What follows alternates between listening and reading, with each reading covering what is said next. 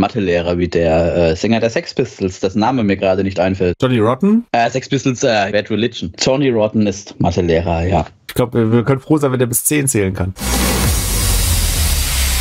Hallo und herzlich willkommen zu einer neuen Folge des Menschenverachtenden Untergrund Podcasts. Mein Name ist Adrian und mit mir dabei ist äh, der verschlafene Andi. Hi.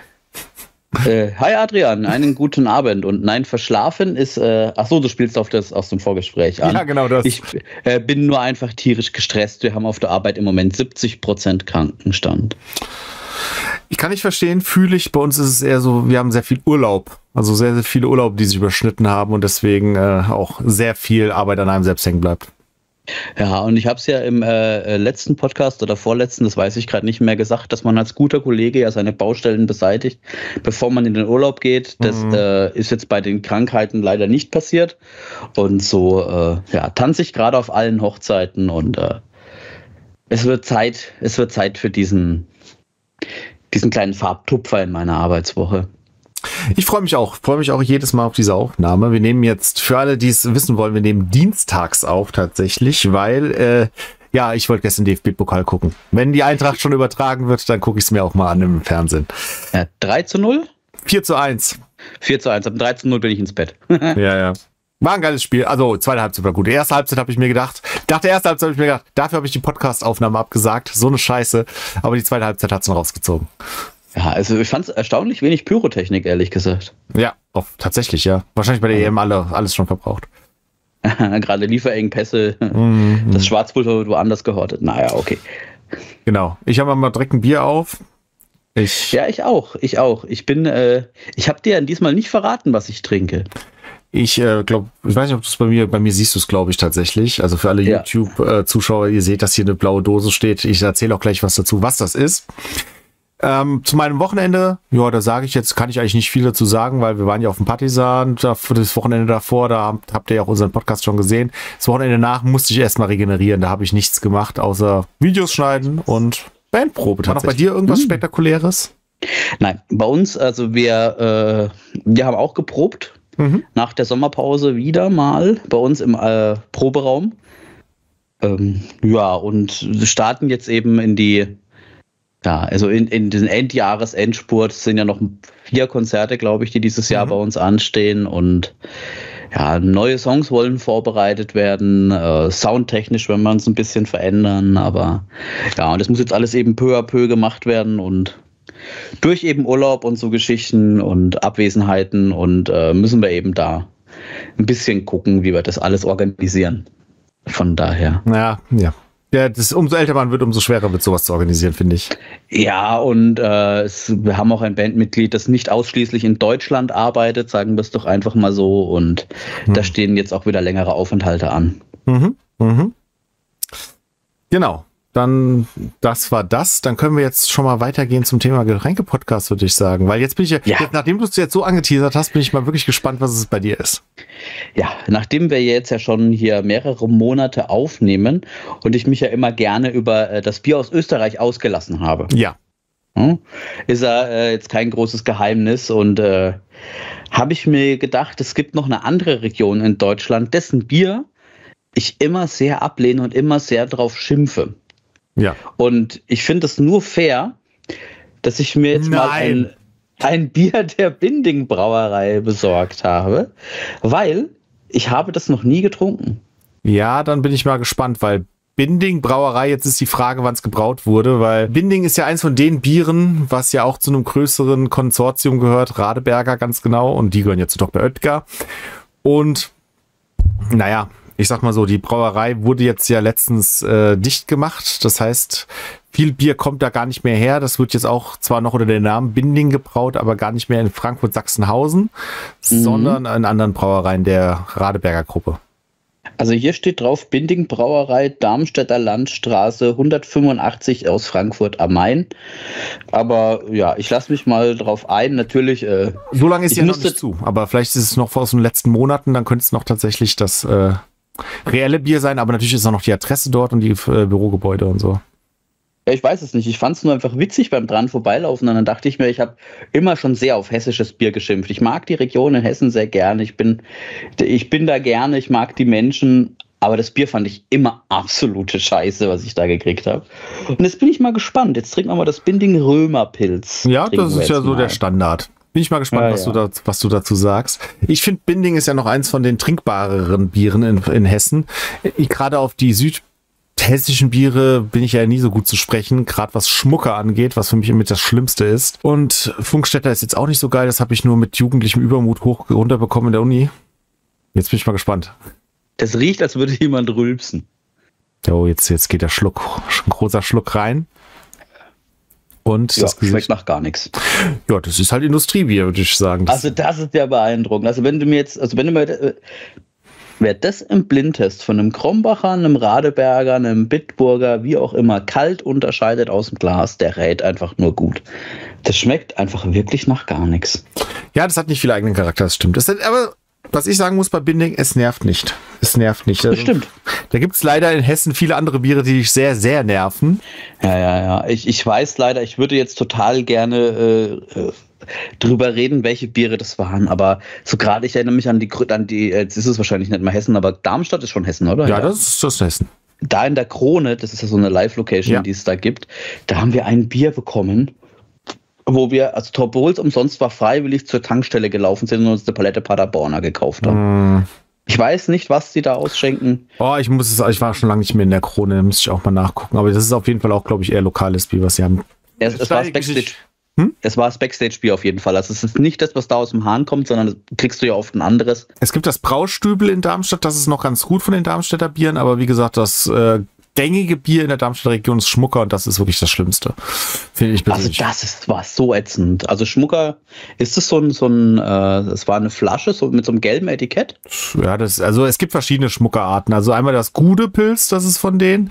Dann gibt's noch das, wo also, ja, so ein Typ mit einem Dreispitz drauf ist, das ist so das klassische Etikett von denen. Äh, ah, lass mich mal kurz gucken, mal gucken. Aber mein Gedächtnis hat mir, lässt mich da leider auch völlig im Stich. Ich weiß nur noch, dass wir eben, dass äh, das war ja noch meine alte Band und dass da unser Sänger, der wirklich Kummer gewöhnt ist, wenn es ums Bier geht. Also ich glaube, das meist konsumierte Bier in seinem Leben ist Burg Krone von der Norma. Hm. Und der kam raus und hat gesagt, Leute, ich krieg das nicht runter.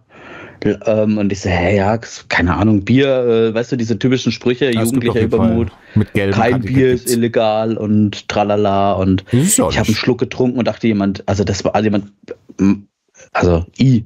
Ja.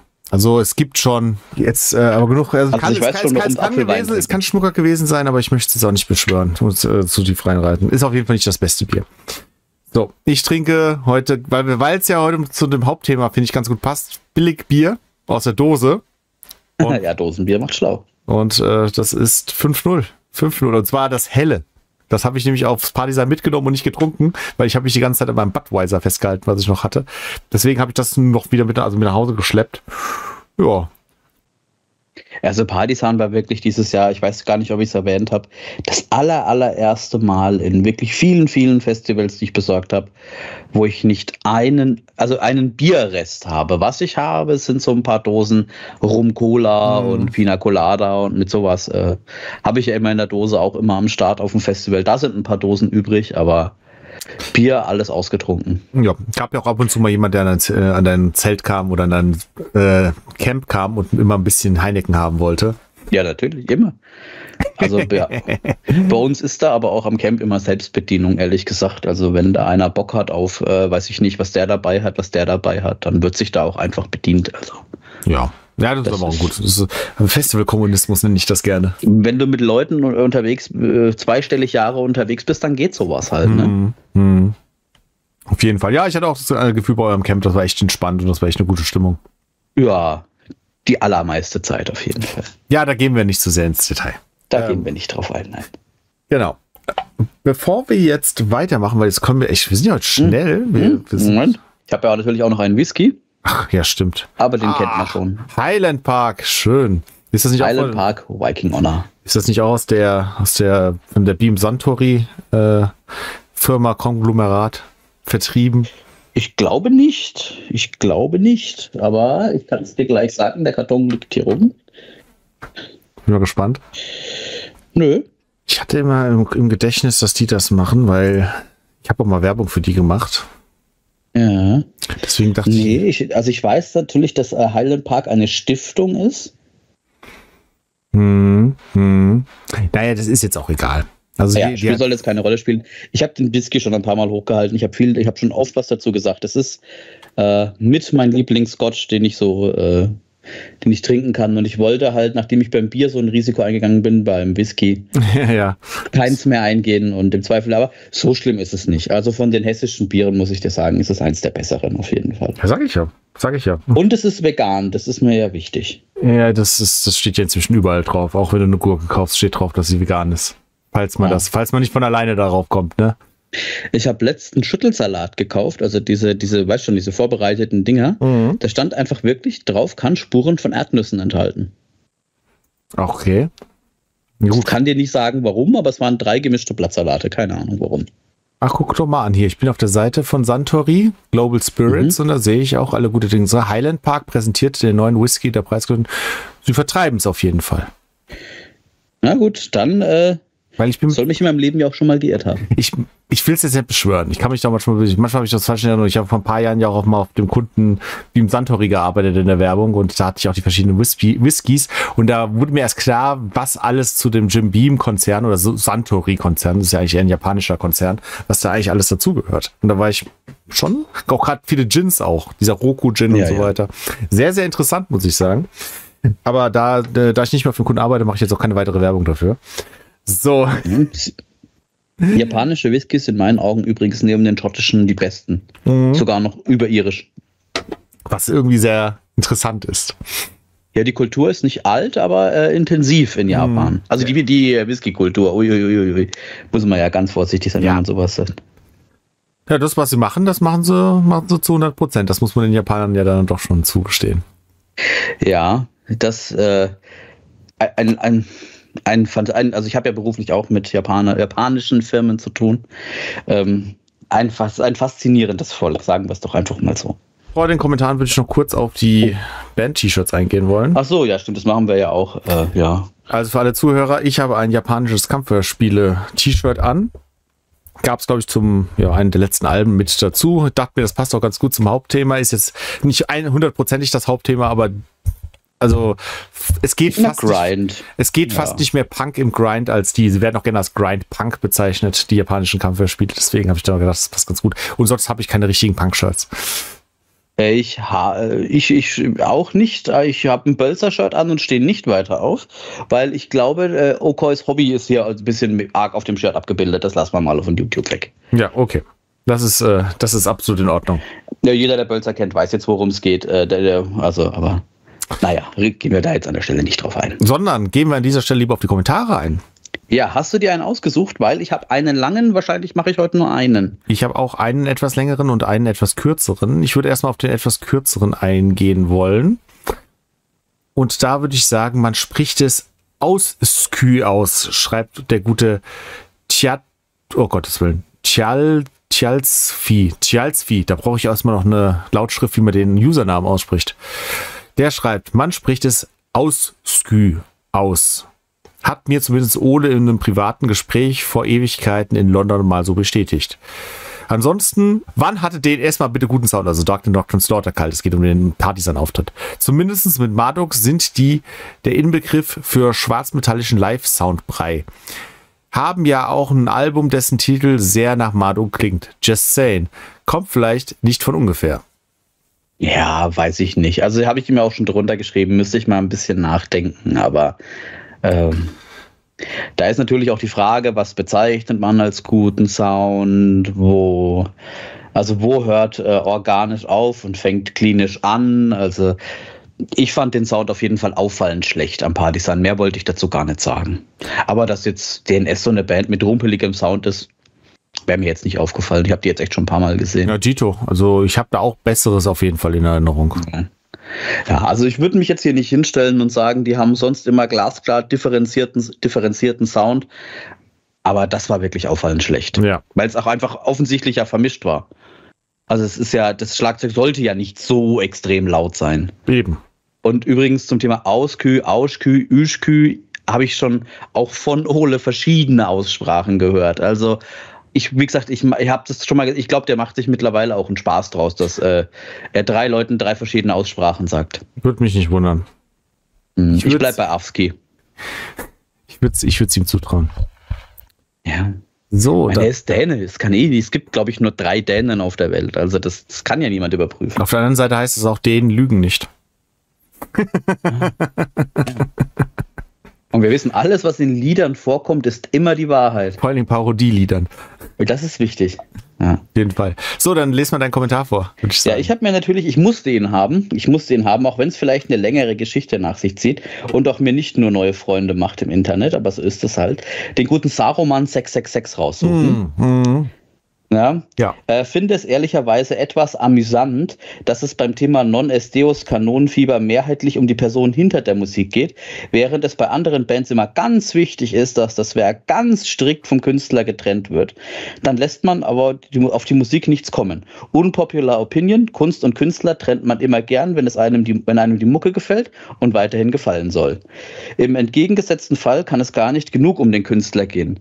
Ist es jetzt relevant, wer die Musik macht oder nicht?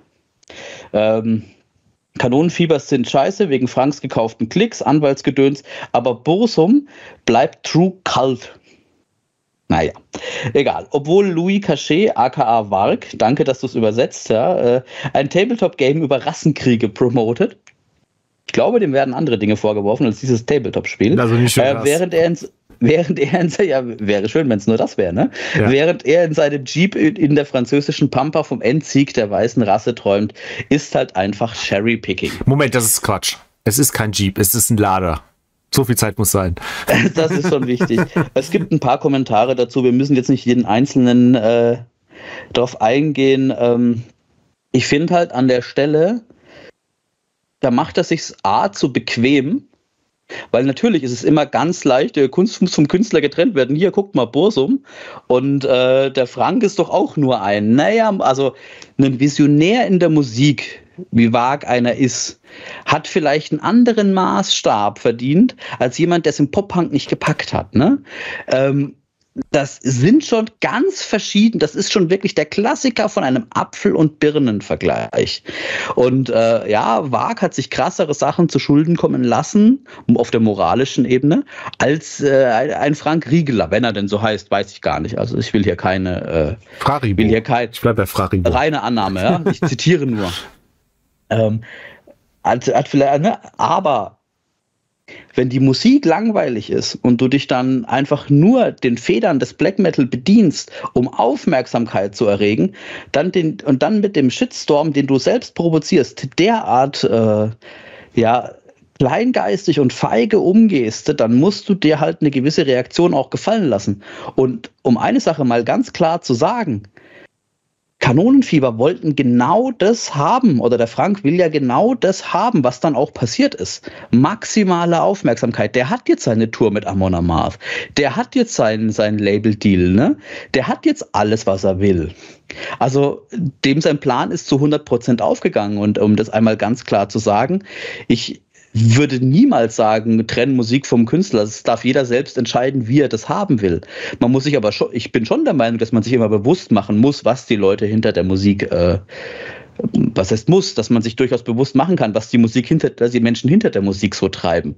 Aber der Vergleich, also lieber Saruman, es muss dir doch selbst klar sein, dass das hinkt wie der Teufel. Ich muss ganz ehrlich sagen, ich habe ehrlich gesagt genug über dieses Thema geredet. Wir haben, ich habe es auch drunter geschrieben, wir haben wirklich mehrfach über dieses Thema geredet. Wir haben es, ich habe sogar selbst diese Sache schon gesagt, auch, dass ich auch schon, ich habe auch schon in Streams gesagt, so ich finde es auch ein bisschen komisch, dass man bei gewissen anderen Bands sagt, so, jo, komm, ist egal, was die gemacht haben. Und dann bei anderen Bands, die in Anführungsstrichen weniger schlimme Dinge gemacht haben oder weniger problematisch sind, dass man das dann da, dass man da die Musik komplett verteufelt, weil man sagt, der Typ ist ein Arschloch oder sonst irgendetwas. Faust ist immer, immer mein Beispiel. Also wenn du so ein Beispiel möchtest, dann nimm bitte Faust von Emperor raus. Äh, dann nimm, oder nimm andere Beispiele, die es zweifellos in der Musik gibt.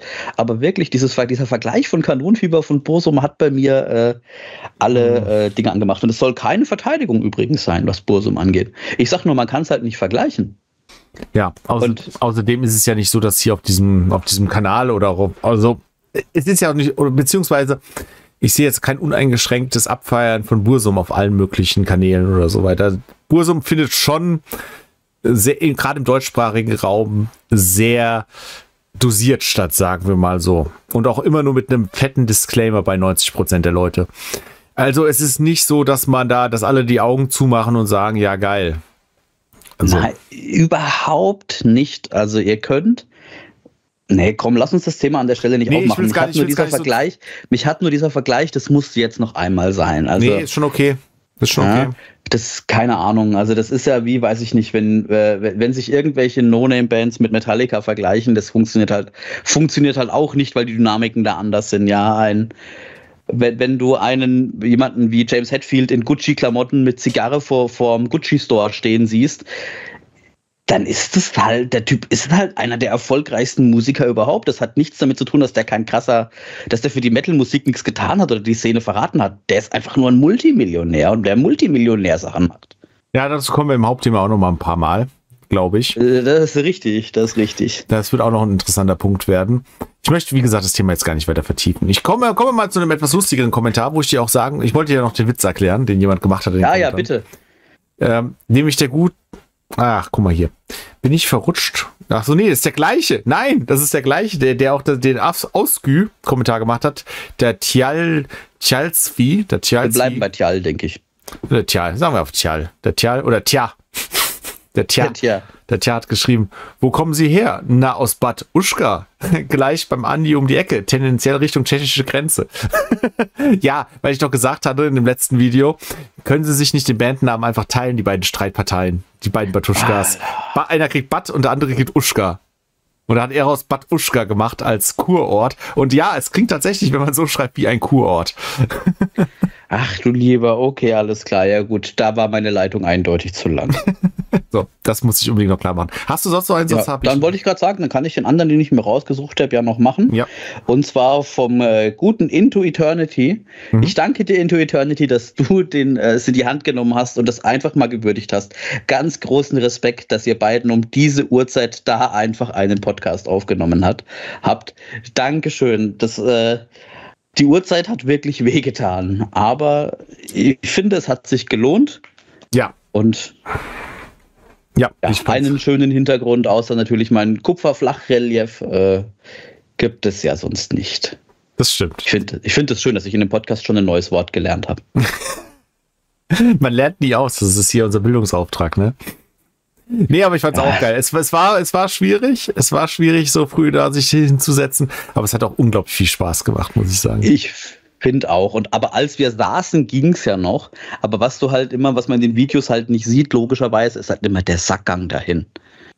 Ne? Also dafür, mhm. dass wir um 7.30 Uhr das Video aufnehmen konnten, heißt ja wirklich, dass wir einen Weg auf dieses Gelände suchen mussten, einen Platz finden mussten, äh, gucken, dass es vom Ton her passt, die Kamera ausrichten, haben wir alles drauf, nimmt, au nimmt es hier auf, nimmt es da auf. Nimmt es immer noch auf.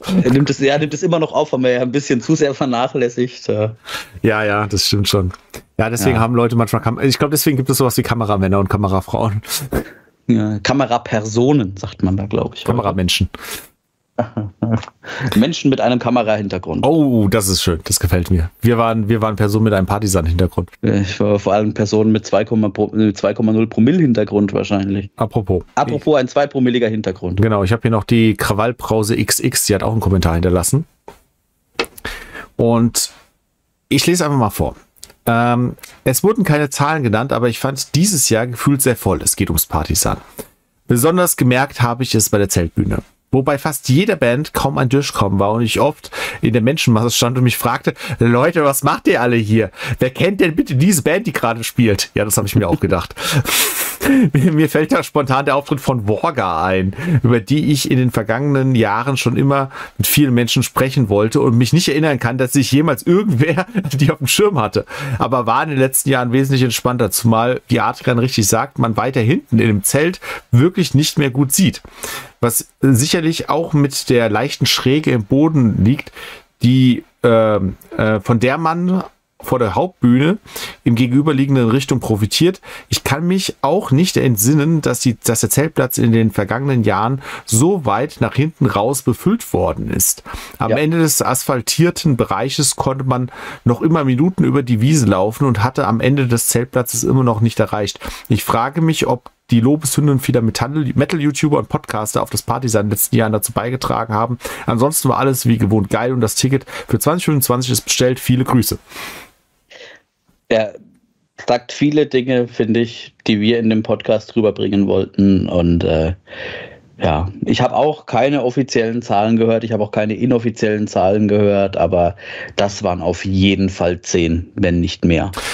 Ich habe es auch, ich merke es, ich, ich, wie gesagt, ich bin zwar die meiste Zeit auch auf dem VIP-Campingplatz unterwegs, seit Jahren auch da am Campen, aber auch selbst da merkt man es, dass ich, über die Jahre merkt man, dass es dort immer voller wird. Ich habe dieses Jahr wirklich kaum einen Platz gefunden. Obwohl ich wirklich zur ersten Band kurz, also eine Stunde bevor die erste Band am Donnerstag gespielt habe, also ich bin nicht irgendwie zwei Tage später gekommen, ich bin kurz vor Beginn gekommen, als es äh, ja. Donnerstag war und es war kaum ein, äh, kaum ein draufkommen. Und ja, auch wenn man auf dem Zeltplatz rumläuft, ich habe auch das Gefühl, man kann immer weiter nach hinten laufen mittlerweile. Ja, also es gibt bei uns eine Tradition, die so ein traditioneller Festivalspaziergang ist.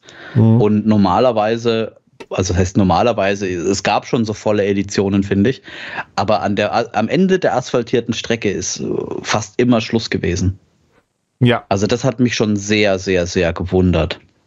Mhm. Aber gut, es äh, ist wie es ist und ja, auch meine Tickets sind bestellt für 25. Echt? Hast du schon? Es gab ja, ja diesen ja. Early Bird hier. Ja, ja. Das ist, äh, ja, Deadbird kostet halt dieses Jahr 150, ne? Ja, ja. Ja, das und, ist. Äh, ja, dass wir dann wieder. Naja, ich sag's jetzt, ich spreche jetzt nicht aus. Ich überlege mir es fürs nächste Jahr, muss ich ganz ehrlich sagen, nochmal, ob ich nächstes Jahr, also es hängt, ich mache es nächstes Jahr auch abhängig davon, wie das Dortmund Death Fest aussieht. Muss ich ganz ehrlich sagen, weil wenn das ein fettes Line-Up hat und die Leute, die ich im Ruhrpott kenne, auch dahin gehen und mir auch eine Unterschlupf bieten, dann bin ich geneigt, eher dahin zu gehen. Beides mache ich nicht, weil zwei Festivals, große Festivals hintereinander, das, nee, das ist nicht mehr meins. Das ist, da, kann ich leider nicht mit dienen. Ja, bei uns ist es, war es ein bisschen die Diskussion, ob wir eben Obscene Extreme machen oder auch Chaos Descent ist ja auch kurz vor die Woche vorher. Ja, Brutal Assault ist auch parallel zum Beispiel. Ja, Brutal Assault, das wechsle ich auch immer wieder mal ganz gern. Ähm, naja, mal gucken. Aber ich habe jetzt auf jeden Fall mein Partisan-Ticket bestellt.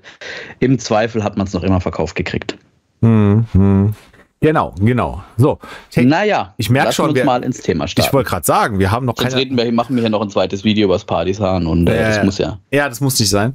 Aber ich merke gerade schon, wir sind noch nicht mal bei einer halben Stunde und gehen schon ins Hauptthema. Das ist ja heute mal richtig fix, wie wir unterwegs sind. Ja, so ist es halt. Ne? Dienstags, wir sind aufgeräumt. Es ist äh, ja, wenig plauderig irgendwie heute so. Also auch die Kommentare waren ja auch recht äh, überschaubar. Ne? Also du hast viel Festival-Nostalgie gehabt beim Partisan. Äh, mhm. Video, wo man, was soll man da groß zu sagen? Und man kann es ja auch aussprechen, das Proberaum-Video, wo ich mir jetzt noch äh, Kommentare hätte aussuchen können, das performt jetzt nicht so, auch was die Kommentare angeht. Das hat jetzt für mich auch nichts hergegeben. Und da ja. geht sowas halt einfach auch mal schnell.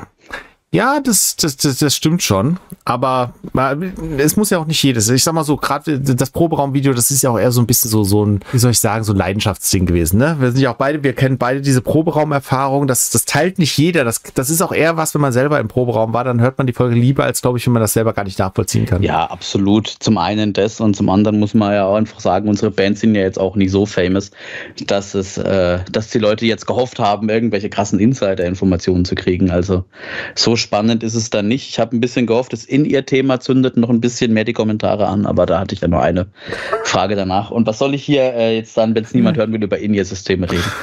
Ja, das, das stimmt. Das stimmt tatsächlich. Wir wollen, äh, reden wir lieber mal, ich bin mal gespannt, wie diese Folge, wie dieses Hauptthema performt, weil das kann ich überhaupt nicht einschätzen, weil Punkrock. Es geht um Punkrock. Es geht so ein bisschen um unser Verhältnis zum Punkrock. Es geht auch als damit wir irgendwie auch etwas haben, woran wir uns entlanghangeln können. Das alte Spiel kennt ihr drei Scheiben, drei Tapes, drei Alben, drei was auch immer, drei Veröffentlichungen, die wir mit auf eine einsame Insel nehmen würden, wenn es um Punkrock geht. Es ist natürlich jetzt nicht so, das sind jetzt keine Top 3. Ihr wisst, ihr kennt das Spiel. Es sind mehr so Sachen, die wir jetzt kuratiert ausgewählt haben. Sie sollen eine gewisse ja, es ist, hinter jedem, hinter jedem Pick steckt ein gewissen, gewisser Sinn. Da haben wir uns was überlegt dazu. Aber wie gesagt, es ist keine, keine Liste auf Vollständigkeit und drei wären auch viel zu wenig, um da irgendwie eine Bestliste mitzumachen.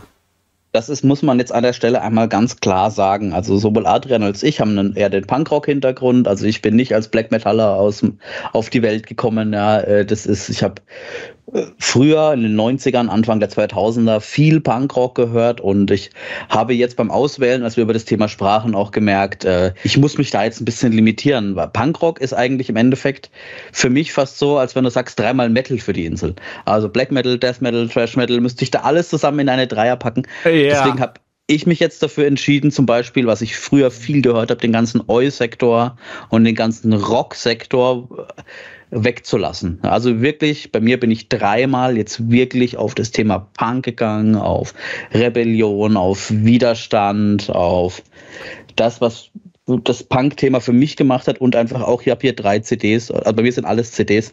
Bei mir sind es Tapes. Ähm, als ich äh, ja, als ich damals äh, gehört habe, hat äh, Punk gehört habe, hat für mich kein anderes Medium eine Rolle gespielt. Digital gab es nicht, zumindest so, dass ich es nachvollziehen konnte. Platten waren überhaupt kein Thema und äh, ja, gebrannte CDs hast du so mit hin und her geschleppt und äh, dann halt noch die Originale dann für zu Hause gekauft oder in meinem Fall fürs Auto Stimmt. Wo stimmt. dann auch noch eine kleine Anekdote äh, kommen wird.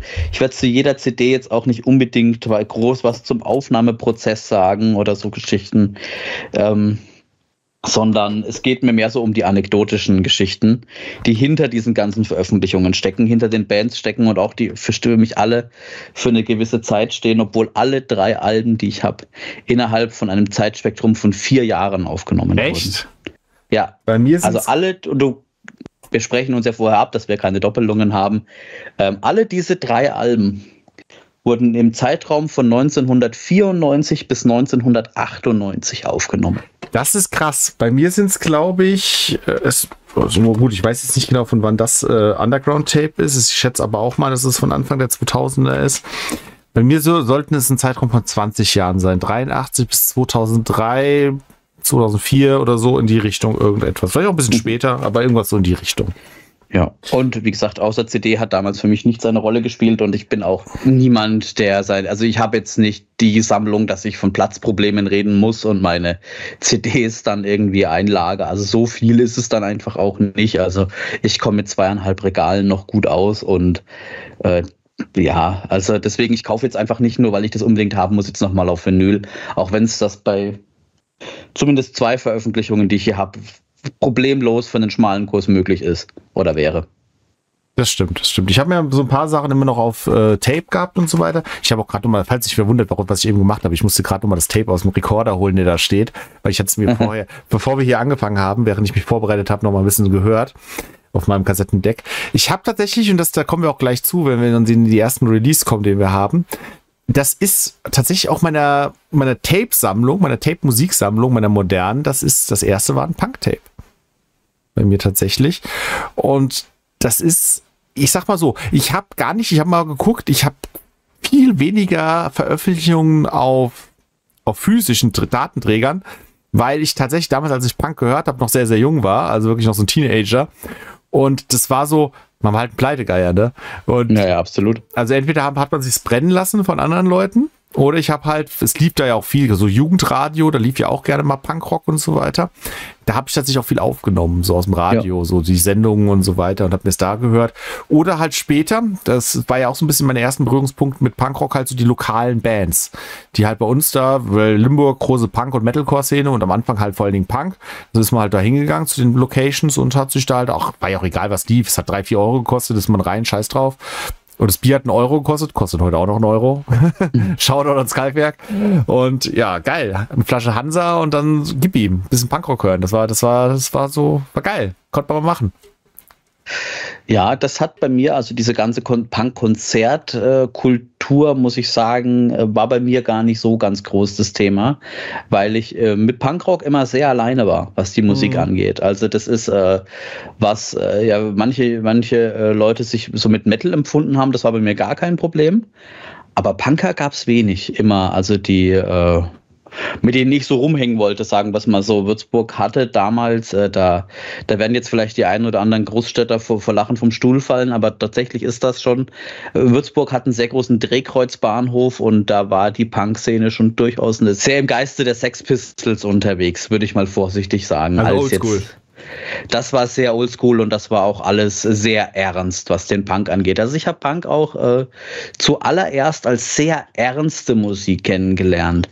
Ja. Echt? Tatsächlich? Absolut, absolut. Also dieses Party, wie du sagst, Hansa für einen Euro und äh, Live-Konzert in einem äh, betreuten Umfeld, nenne ich es jetzt einfach mal vorsichtig mit dem Kaltwerk, das war bei mir so, habe ich Punk nicht kennengelernt. Ich habe Punkrock wirklich äh, auf, äh, aus der Boombox, entweder CD, gebrannte CD oder auch äh, Tape, wobei das romantisiere ich jetzt vielleicht. Ich glaube, realistisch zum damaligen Zeitpunkt waren da keine Tapes am Start. Das waren diese ganz normalen äh, Multi, äh, Multirekorder aus dem Mediamarkt oder wie die, wie die Dinger heißen, keine Ahnung. Oder sonst woher, CD rein und lautstark am Bahnhof und Rotwein und Aspirin äh, einfach so, Hauptsache das Hirn gemacht's kaputt. Ja, so diese typischen CD-Decks halt, ne? Diese, diese großen. Ich habe hier auch einen stehen. Diese, ich habe ich hab auch da drüben eins, ja? das äh, habe jetzt aber auch keine Lust zu holen. Nee, wenn ich das jetzt rausroppe hier, dann fliegt es mir um die Ohren hier alles. Also so, jeder kennt das, da ist ein Tape-Deck drin, CD-Player, bei mir kannst du noch einen USB-Stick anschließen. Stimmt, es hat auch einen USB-Anschluss und also was ich nur an dem Ding nicht mag, ist, dass es keine Aufnahmefunktion für Kassetten hat, weil das ist auch immer ganz geil, wenn ich Tapes aufnehmen will. Aber gut, kann man nicht haben. Das habe ich beim Plattenspieler. So, so, so, so eine Plattenspieler über, über Spielfunktion meinst du? Genau, dass ich von, also nicht von Platte zu Platte logischerweise, sondern von Platte auf Kassette aufnehmen kann. Ja, das ist cool. Ja, ich habe auch noch ja. so, so, ein etwas älteres, habe ich noch im Keller. Das hatte Doppel-Tape-Deck, auch wenn man Tapes überspielen wollte. Ja, hast du ja damals gebraucht. Oder auch vierfach, also das kenne ich auch noch. Mhm. Aber tatsächlich, das, was du eben gesagt hast, ich will jetzt nicht zu sehr vom Thema abkommen. Wir reden gleich noch genug über Tapes. Ich habe nur Tapes dabei hier, also bei meinen Hauptpicks. Ja, was, ich, was, ich, sagen wollte, ist, bei uns gar, Limburg auch, Bahnhofszene und so weiter, auch Pust, Pusteblume. Das war halt vor dem Rathaus, der Brunnen und so weiter. Da hingen auch die ganzen Punks rum. Ich bin tatsächlich dadurch mit Punk in, in Punk mit Berührung gekommen. Klar, in der Schule hatten halt Leute, die halt zu der Punk-Szene nahe standen. Und da gab es natürlich in der Schule auch viele, die halt gar nicht mal so tief in irgendeiner krassen Musikszene drin waren, aber da halt so Sachen wie Sum 41, Blink 182 und so weiter sehr populär waren hattest du halt so diesen Mainstream-Punk natürlich auch irgendwo in der Schule mit dabei, lief dann auch auf Partys und sonst irgendwo. Aber dadurch, dass ich auch später so paar, ja, so paar Leute aus der schwarzen Szene, Gothic-Szene und so weiter kennengelernt habe, und dann mit denen so bis rumgehongen bin, kam ich dann auch eher so zur Punk-Szene, weil die hingen dann halt alle so, weißt du, so im Freien rum, weißt du, alle kaum Geld, weißt du, alle so, ja, was macht man? Man hängt halt draußen irgendwie am Bahnhof, vom Rathaus oder sonst wo rum, trinkt irgendwas und hört dabei, wie du schon richtig sagst, über irgendeine Musik, Box Musik und labert halt miteinander. Ja, also genau, ne, mehr war da bei mir auch nicht so äh, mehr so am Start. Und äh, das ist auch, die Verknüpfung fehlt mir auch vollständig übrigens. Ne? Also das Punk und Goth, das, also Punk war ein, bei uns, so wie ich ihn kennengelernt habe, ein geschlossener Kreislauf. Du warst Punker oder gegen uns.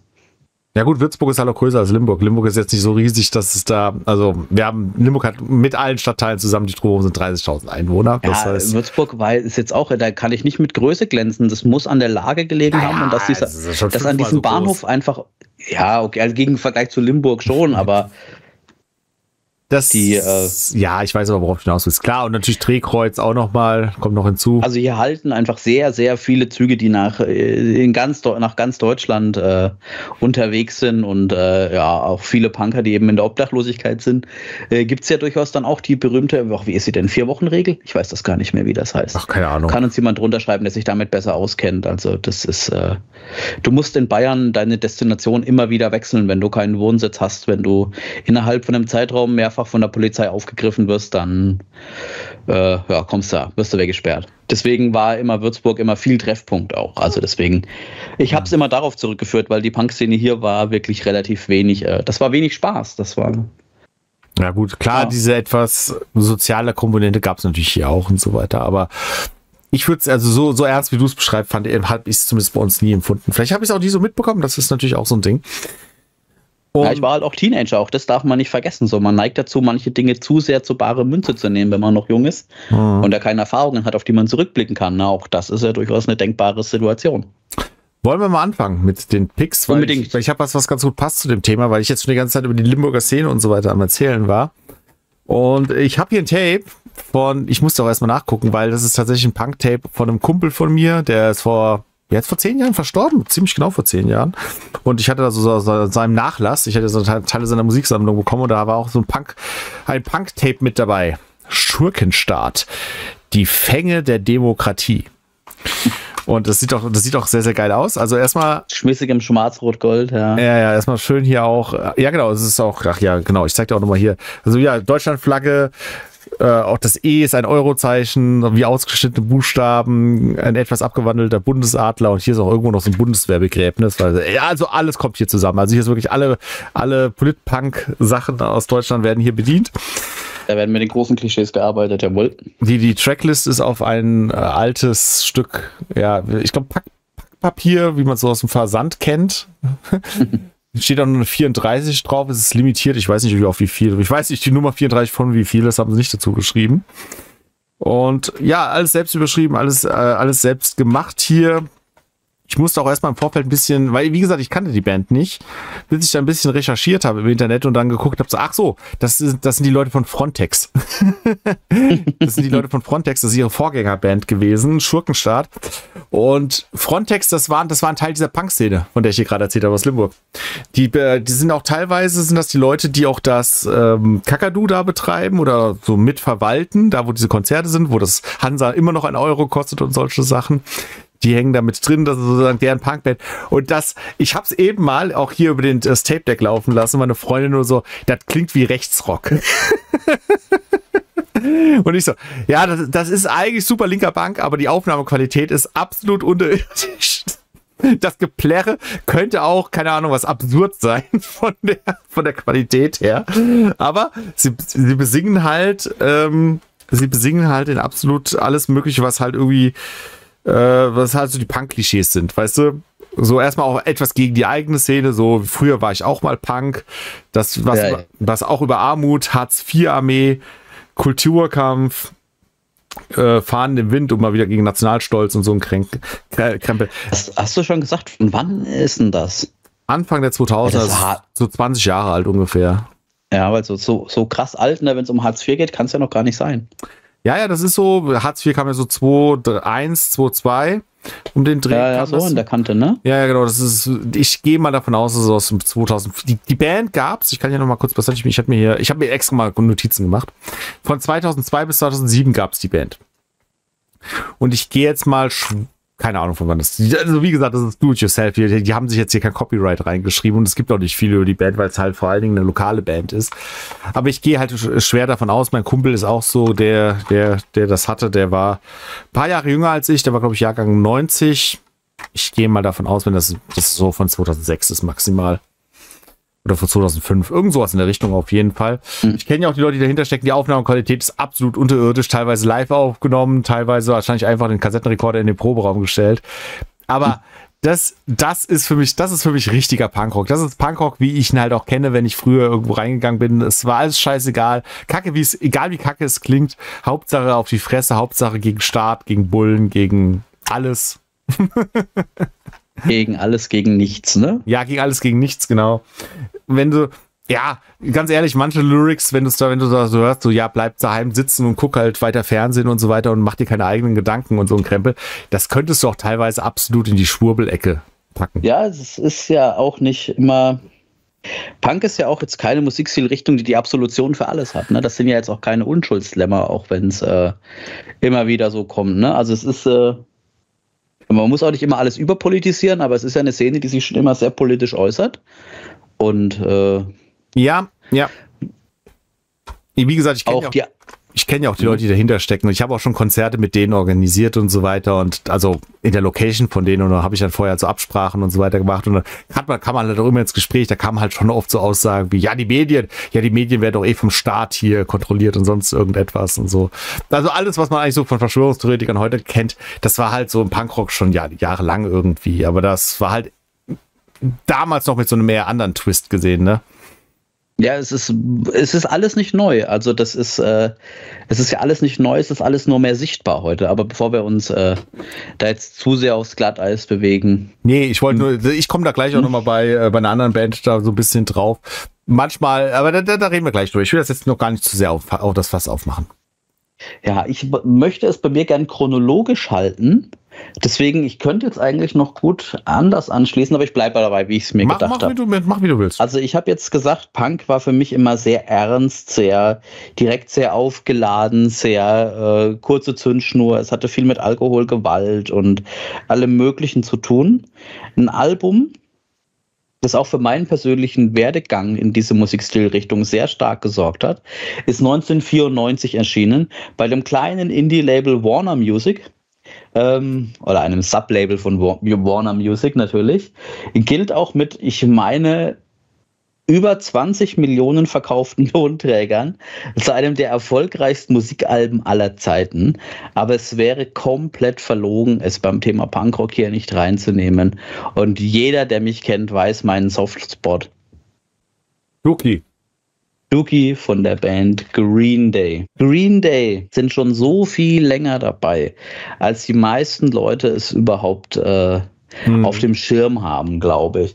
Also ich äh, habe es jetzt nicht nachvollzogen. Das Album ist von 94. Als es rauskam, war ich äh, sechs Jahre alt. Also ich habe nicht am Erscheinungstag dieses Album gekauft, sondern ich bin da. Das waren so meine ersten mit ersten musikalischen Gehversuche. Natürlich auch über Tony Hawk's Pro Skater. Ja klar. Äh, ja, für mich damals alles. Äh, das, da ist Basket Kate drauf, da ist Burnout drauf, da ist Pulling Teeth drauf.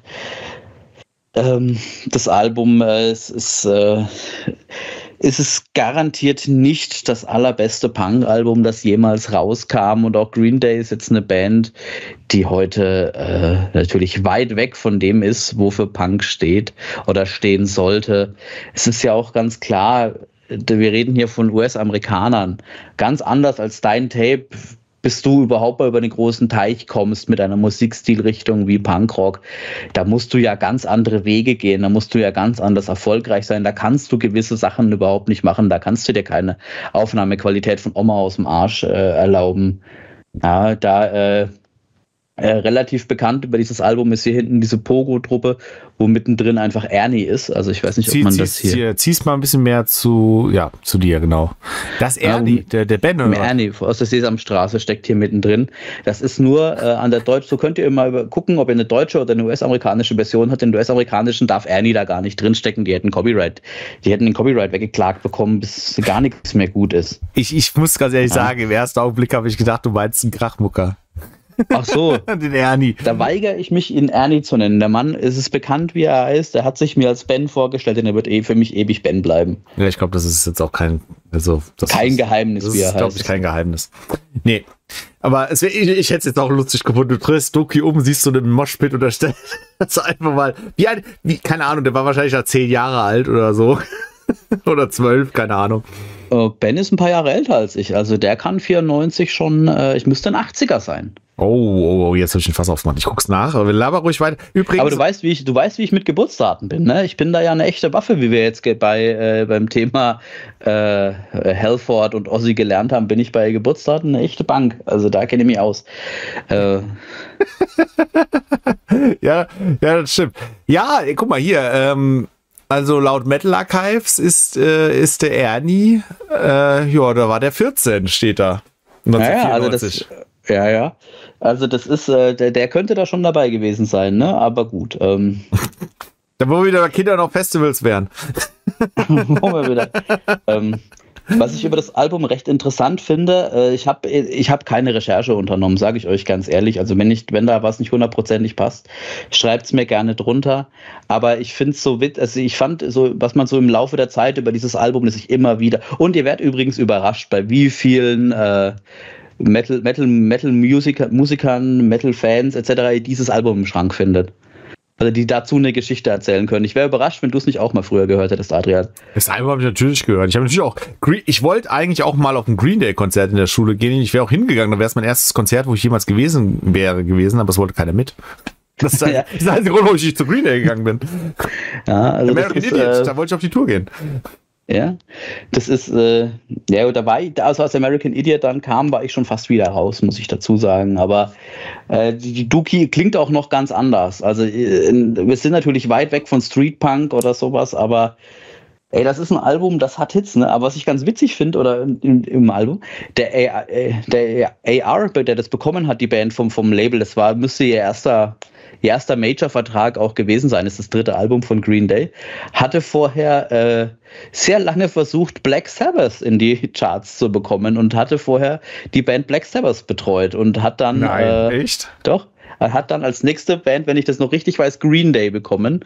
Und äh, ja, von Ozzy zu Green Day, das ist schon. Ähm, ich glaube, ein Schritt, den er nicht bereut hat und ist ja mit Dookie auch gleich mit, also gleich gechartet. Also das Album war jetzt auch, also war gleich erfolgreich. Das ist eingeschlagen wie eine Bombe. Wobei man sagen muss, zu dem Zeitpunkt, wo Dookie erschienen ist, 94, war die Band schon sieben Jahre unterwegs. Also die ist ja, ja, die Green Day gibt's schon ewig.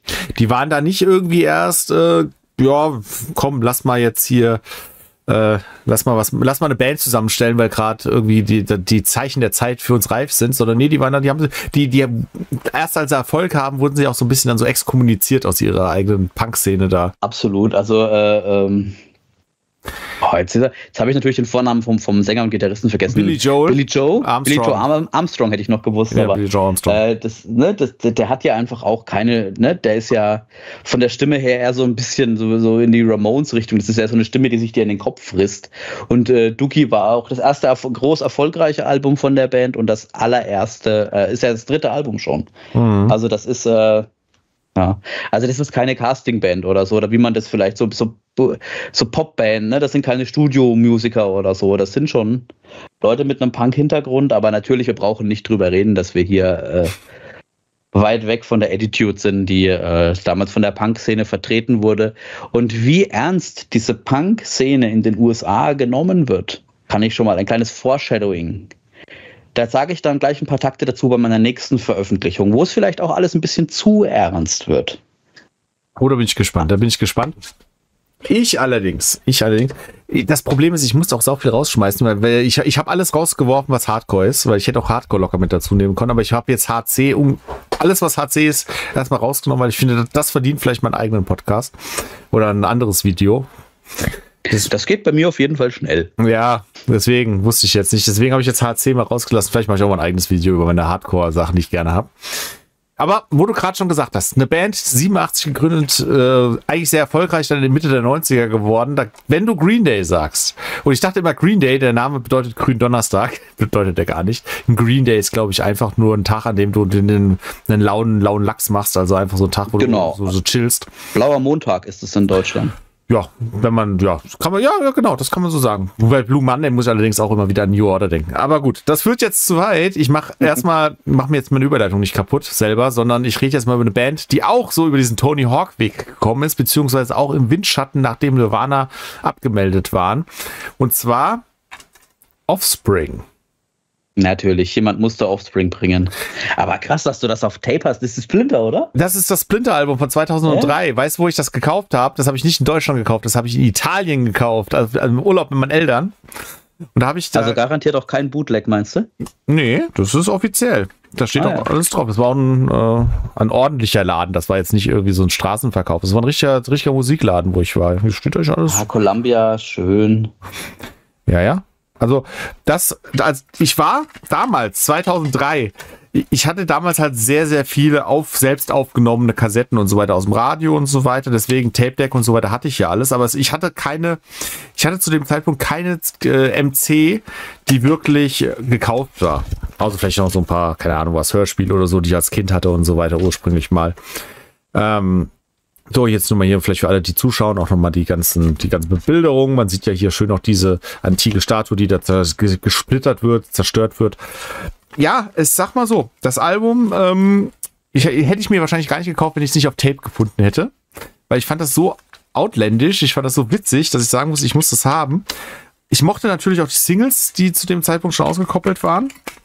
Damals, ich glaube, so die Singles waren vor allen Dingen äh, das Hit Dead war ja so das erste ausgekoppelte, wobei ich jetzt im Nachhinein sagen muss, die Singles, die, die waren, die, die sind gar nicht stellvertretend für das Album. Und das ist, glaube ich, für die damalige Zeit aber auch ganz normal gewesen. Gerade in dieser MTV-Zeit hattest du bei diesen, in Anführungsstrichen, Skate-Punk-Bands, weil nichts anderes ist The Offspring.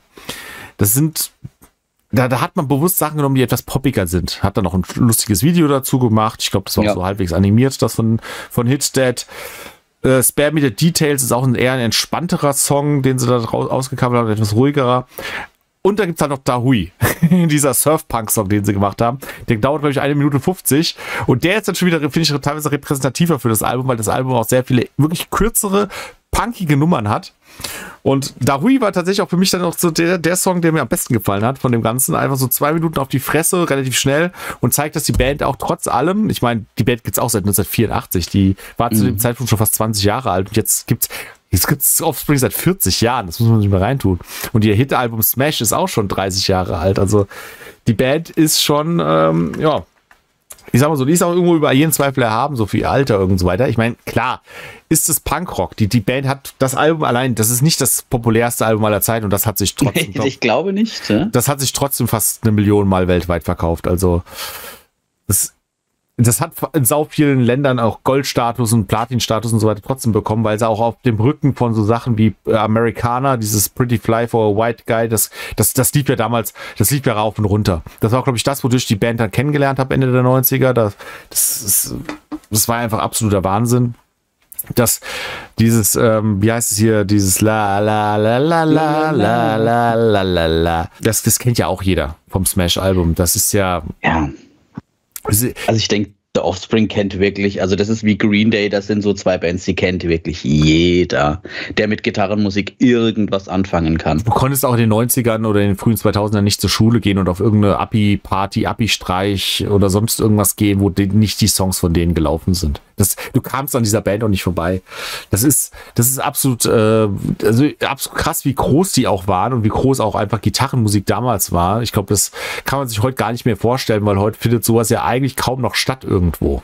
Ja, das stimmt. Und ich glaube, du könntest so eine Band wie The Offspring heute auch nicht mehr gründen. Wahrscheinlich nicht. Wobei ich sagen muss, sie haben auch, glaube ich, den unpunk-rock-mäßigsten Song aller Zeiten geschrieben. Why You Don't Get a Job. ah, der Song ist so gut. Der Song ist super witzig ich, und so weiter. Ey, also das ist, äh, ja. Such dir mal wenn wir gerade bei, Wenn wir gerade bei Anekdoten sind. Ja.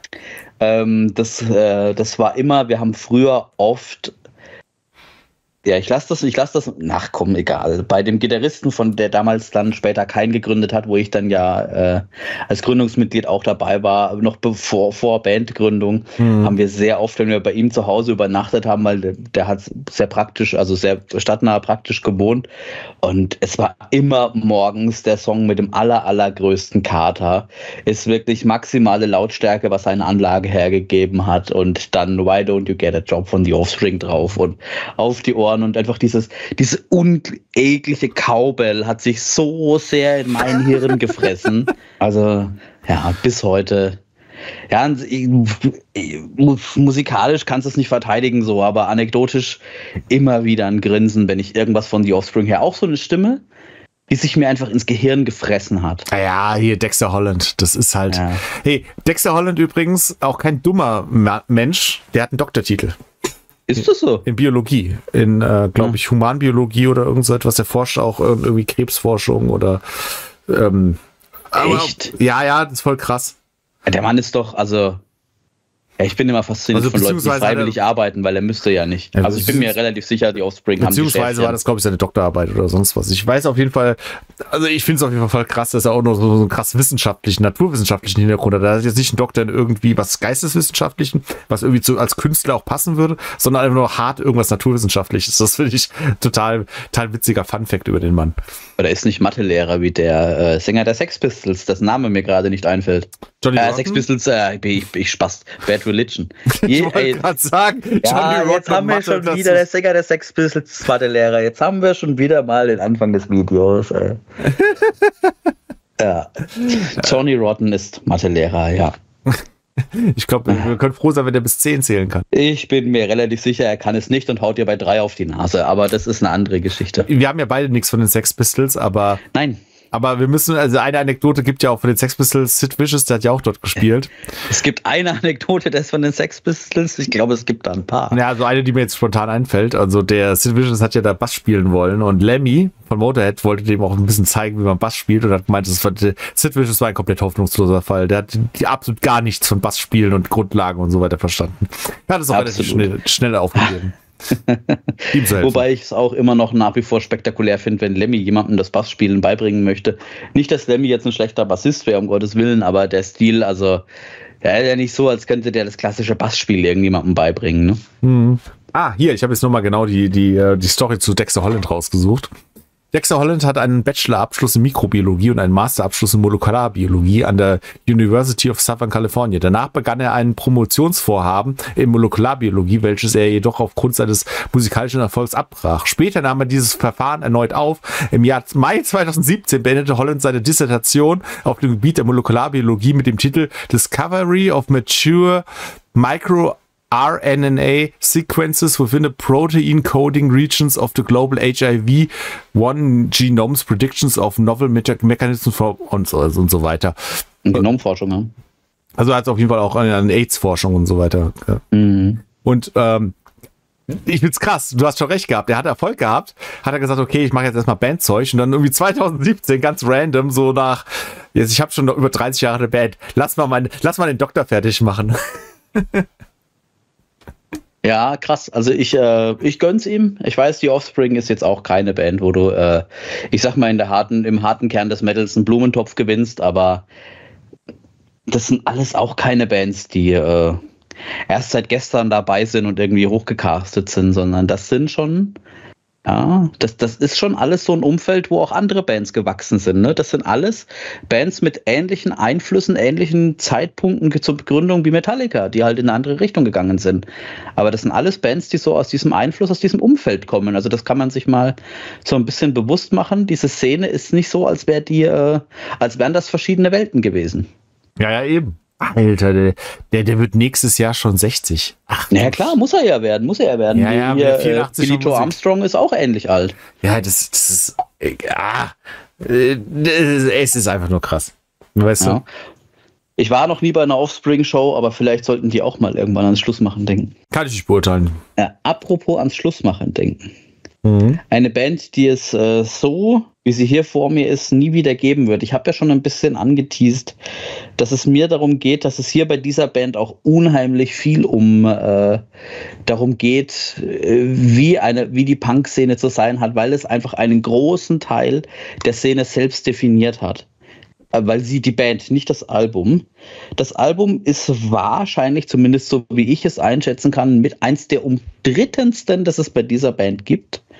Aus einem einzigen Grund. Äh, ich finde es trotzdem unglaublich stark. Ich habe The Misfits. Oh, Misfits, geil.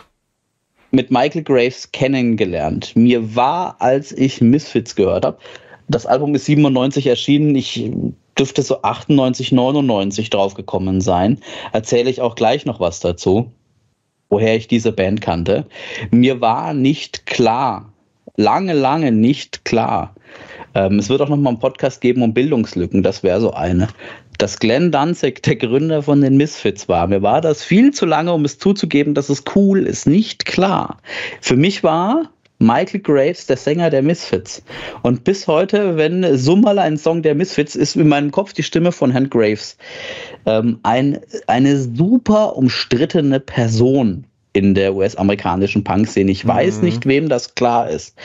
Michael Graves ist der aller, allererste Musiker, den ich selbst mal als, also da, damit macht man sich auch nicht nur Freunde mit dem Satz, aber ein Opfer der, der Cancel-Bewegung äh, mitgekriegt habe.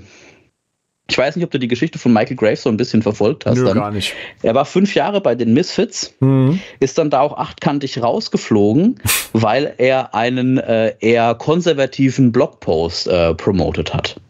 Und äh, also wir reden immer noch nicht von politisch irgendwie äh, anrüchig, sondern einfach nur äh, nicht demokratisch ja, sondern eher so Richtung, in die Richtung der Republikaner in den USA. Und als Punk hat man links zu sein, war damals wirklich so einer der, der Schlachtrufe, um Michael Graves mit aller Scheiße zu bewerfen, der den Medien, den Leuten und Szenefiguren eingefallen ist. Also angeblich kannte er auch, als er bei den Misfits vorgesungen hat, ihre Songs gar nicht und was kompletter Quatsch ist, wenn man also so ein bisschen sich äh, Jerry Only und äh, Doyle hätten doch niemanden in die Band gelassen, der die Songs nicht kannte. Und so ein, äh, extrem nah an Danzigs Stimme ist er nun wirklich nicht. Ja, dass man sagen könnte, sie haben ihn einfach nur eins zu eins ersetzt. Ähm, hm. Er selbst ist doch nie übrigens Mitglied der äh, Republikaner in den USA gewesen. Er hatte lediglich, äh, vielleicht war das auch ein bezahlter Job, niemand weiß es so richtig, aber es war wirklich, diese Hexenjagd auf Graves war wirklich lächerlich. Und das ist ja teilweise heute noch. Du musst dich ja teilweise heute noch dafür rechtfertigen, wenn du nicht alles, wo Graves dabei war, von den Misfits scheiße findest. Hm. Und für mich war äh, Famous Monster Mhm. Und äh, die American Psycho. Ach so, das ist der übrigens. nicht. Ich erwarte natürlich immer, dass die Leute sofort das Cover kennen. Das ist die American Psycho von, Misf von den Misfits.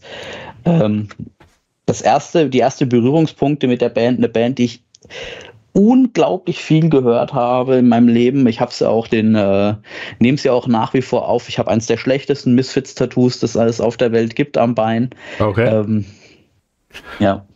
Vom Fiend? Äh, bitte? Vom Fiend, vom Maskottchen? Äh, vom Crimson Ghost. Ja, hier. ja perfekt. Sieht man es, glaube ich, ganz gut. Gestochen übrigens vom Bassisten von Der Weg einer Freiheit. Schöne Grüße. Äh, den Stencil hättest du vielleicht nicht mitstechen müssen. Na, ist eine andere Geschichte. Ähm, Tja. Und Ey, das Album, jetzt haben wir viel über das Drumherum geredet, aber. American Psycho sorry, ist erstmal ein geiler Song. Also ey, American Psycho, Walk Among Us, The Hunger, From Hell They Came, also ich, da sind Songs drauf. Das, das sind, also dieses Album, ich würde mal, jemand, der so ein bisschen eine Ader für den Horror-Punk hat. Ich muss hier, denke ich, mich nicht im Podcast hinstellen und euch erklären, dass Misfits im Endeffekt im Alleingang mal das Musikgenre des Horror-Punks erfunden haben. Ja. Es, oh, oh, und einfach seit Gründung der Band, ich weiß jetzt ehrlich gesagt nicht, auch in den 80ern auf jeden Fall gegründet, es einfach definieren. Oh, das, und das sich jede einzelne Horror-Punk-Band, wenn du, wenn du mich fragst, an den Misfits messen lassen muss. Und ja bis heute auch Danzig, wo ich auch ein Riesenfan übrigens bin, mal am Rande, ähm, sich nach wie vor an den Misfits messen lassen muss. Ich habe nachgeguckt, ja, es ist 77. 77. Ich wusste, die haben, sich, die haben sich in den 70ern noch gegründet. Ja, also 70er, 80er, also wirklich eine Band, die so lange, krass, ne? Die werden, Band ist bald 50. Ja. Um, die Band allein. Ja, und äh, ja, wie gesagt, man muss das, denke ich, nicht mehr sagen. Man muss über die Band auch nicht wahnsinnig viel sagen. Aufmerksam geworden bin ich durch die Band übrigens äh, zu Zeiten, wo man musikalisch noch nicht so erfahren war. Und jetzt haben wir die Playstation schon als einen meiner musikalischen Hintergründe. Das andere war T-Shirts gucken. Und dieser Crimson, diese Crimson Ghost war damals früher viel auf T-Shirts in dieser, von diesen mhm. Punks, von denen ich gesprochen habe. Den habe ich immer wieder gesehen und irgendwann mhm. habe ich rausbekommen, was das für eine Band ist. Bin Strich raus zur nächsten, zum nächsten CD-Fachwarengeschäft gestiefelt und habe mir von den Misfits eine CD gekauft. Das war auch die American Psycho, allerdings nicht die Version hier. Ich hatte äh, vor vielen Jahren mal einen ganz schweren Autounfall, wo auch ein großer, großer Teil meiner CD-Sammlung, also meine CD-Sammlung war zum dem Zeitpunkt in meinem Auto und äh, ja, ich äh, mehrere hundert CDs auf jeden Fall auch verloren hat in dem Unfall. Äh, zum Glück nicht mein Leben, von daher tut es nicht so weh, aber ja, diese CD, äh, die CDs bedeutet sind mir. Leben. CDs ja, sind auch Leben. also ja, Teil deines Lebens hast du da verloren. Äh, auf jeden Fall und auch ein paar Jahre meines Lebens von den OPs, die danach kamen. Also wir reden wirklich von einem sehr schweren Autounfall. Und äh, ja, müßig wenn man nicht der Fahrer ist, machst du halt nichts, ne? Aber gut, jetzt lass uns nicht über die Anekdote reden. Ja, ja. Ähm, ja, also bis daher eine CD, die ich nachgekauft, die ich nachgekauft habe, die ich mir immer wieder kaufen würde. Und äh, auch für mich existiert dieses Album nicht auf Platte oder auf Tape. Da bin ich kein Schöngeist. Das ist eine CD, das, die Haptik ist eine CD, das muss eine CD sein. Ja, ist auch ja. absolut in Ordnung. Ist auch absolut in Ordnung. Ja, übrigens müsste das auch Universal schon sein, ne? Also das nächste absolute Major-Label. Ja, ja, natürlich, klar. Wenn ich mich nicht täusche, Misfits müssten immer äh, zumindest Peripherie von Universal gewesen sein zu dem Zeitpunkt. Och, warte mal, ich kann ja mal nachgucken. Ich habe hier gerade noch die Diskografie offen von denen. Äh, lass mich mal gucken. So. Oh, ist gar nicht. Die haben so eine, so eine verwirrende ähm, ja, das ist bei denen, weil die halt nicht einfach Alben nach Album rausgebracht haben, sondern immer wieder Diskografie und Compilation und hier nochmal live und dann mm. ist es die mhm. Danzig-Ära und dann ist es die Graves-Ära und dann ist es ein, egal. Ja, es ist sehr, sehr kompliziert hier rauszufinden, wo das äh, erschienen ist tatsächlich. Ich kann ja mal gucken, ob es jetzt, ob es hier, ob es hier dabei steht, welches Label. Gavin, Gavin Records. Gavin, ja, Gavin ist doch Universal. Ich meine auch, dass sie dazugehören. Das ist auf jeden Fall auch das zum Beispiel da, wo zum Beispiel auch Nirvana waren. Ja, oder ja, die Ramones. Universal gehört, gehört zu Universal, ja.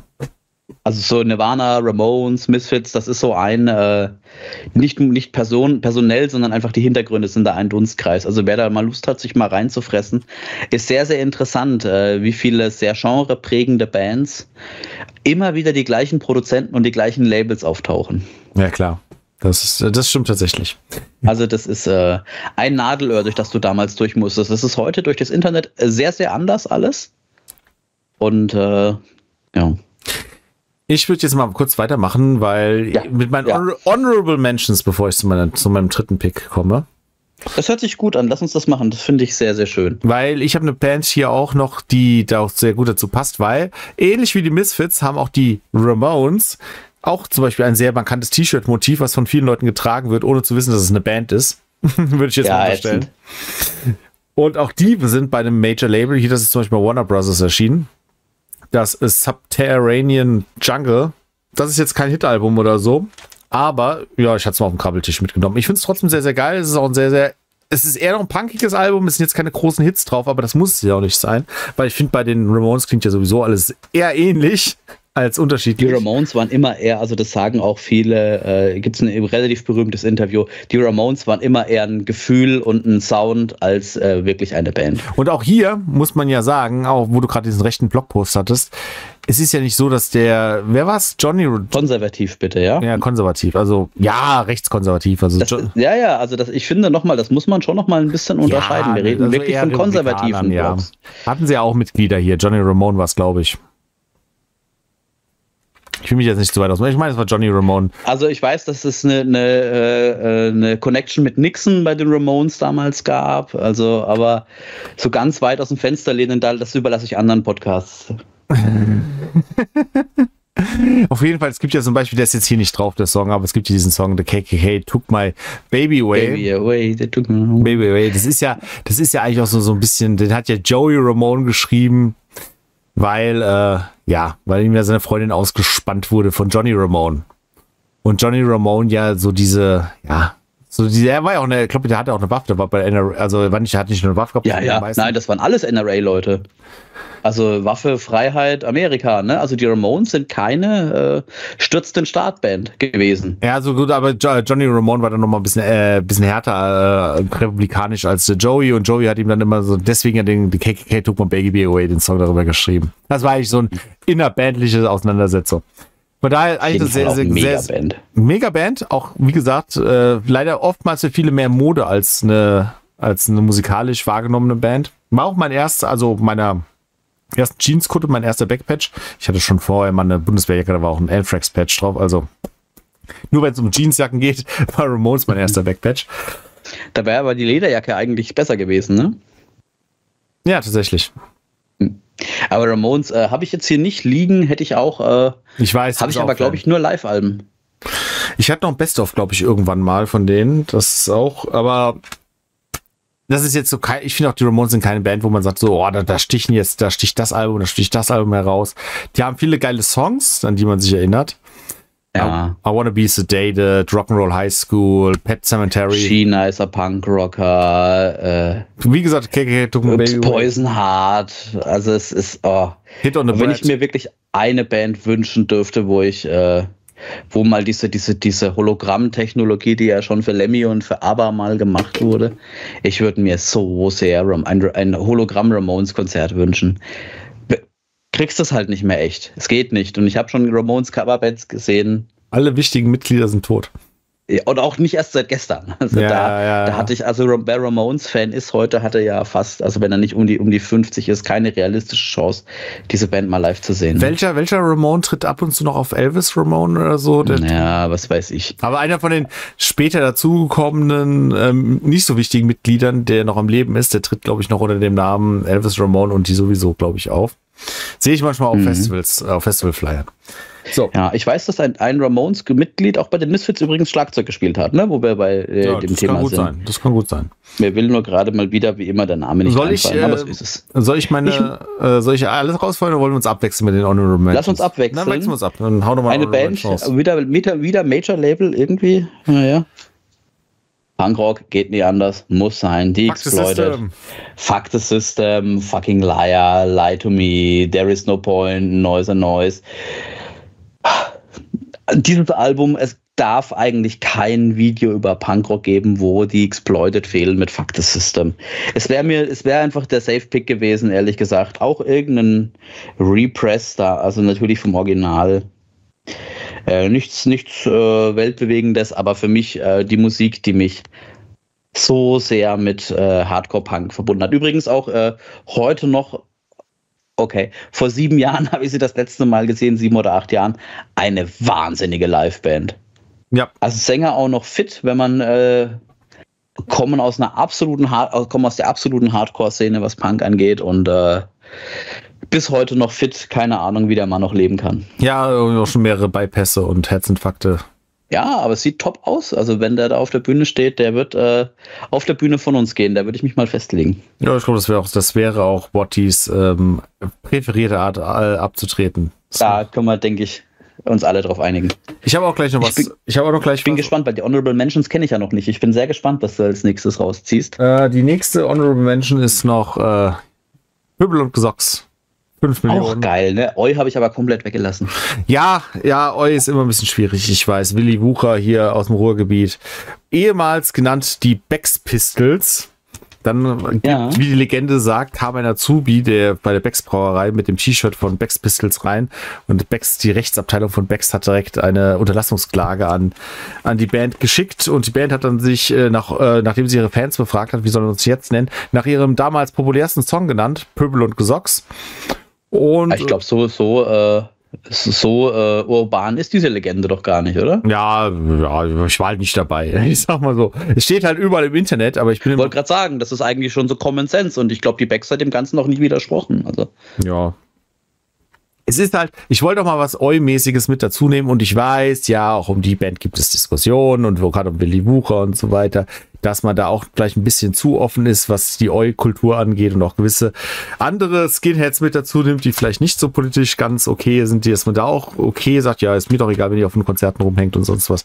Gibt es natürlich auch ganz klare Statements der Bands, dass man keine rechten Idioten auf der, auf den auf den Konzerten haben will und sich auch nicht mit denen assoziiert. Aber das ist ja, das ist nochmal ein Thema für einen ganz anderen Tag. Deswegen habe ich es nur als Honorable Mention dazu, weil die Diskussion der Eu-Szene darüber, äh, was, was jetzt, äh, wie jetzt Eu und wie sich Skinheads zu der rechten Szene und so weiter abgrenzen und verhalten, wollte ich gar nicht aufmachen. Mhm. Das, äh, das, das Fass.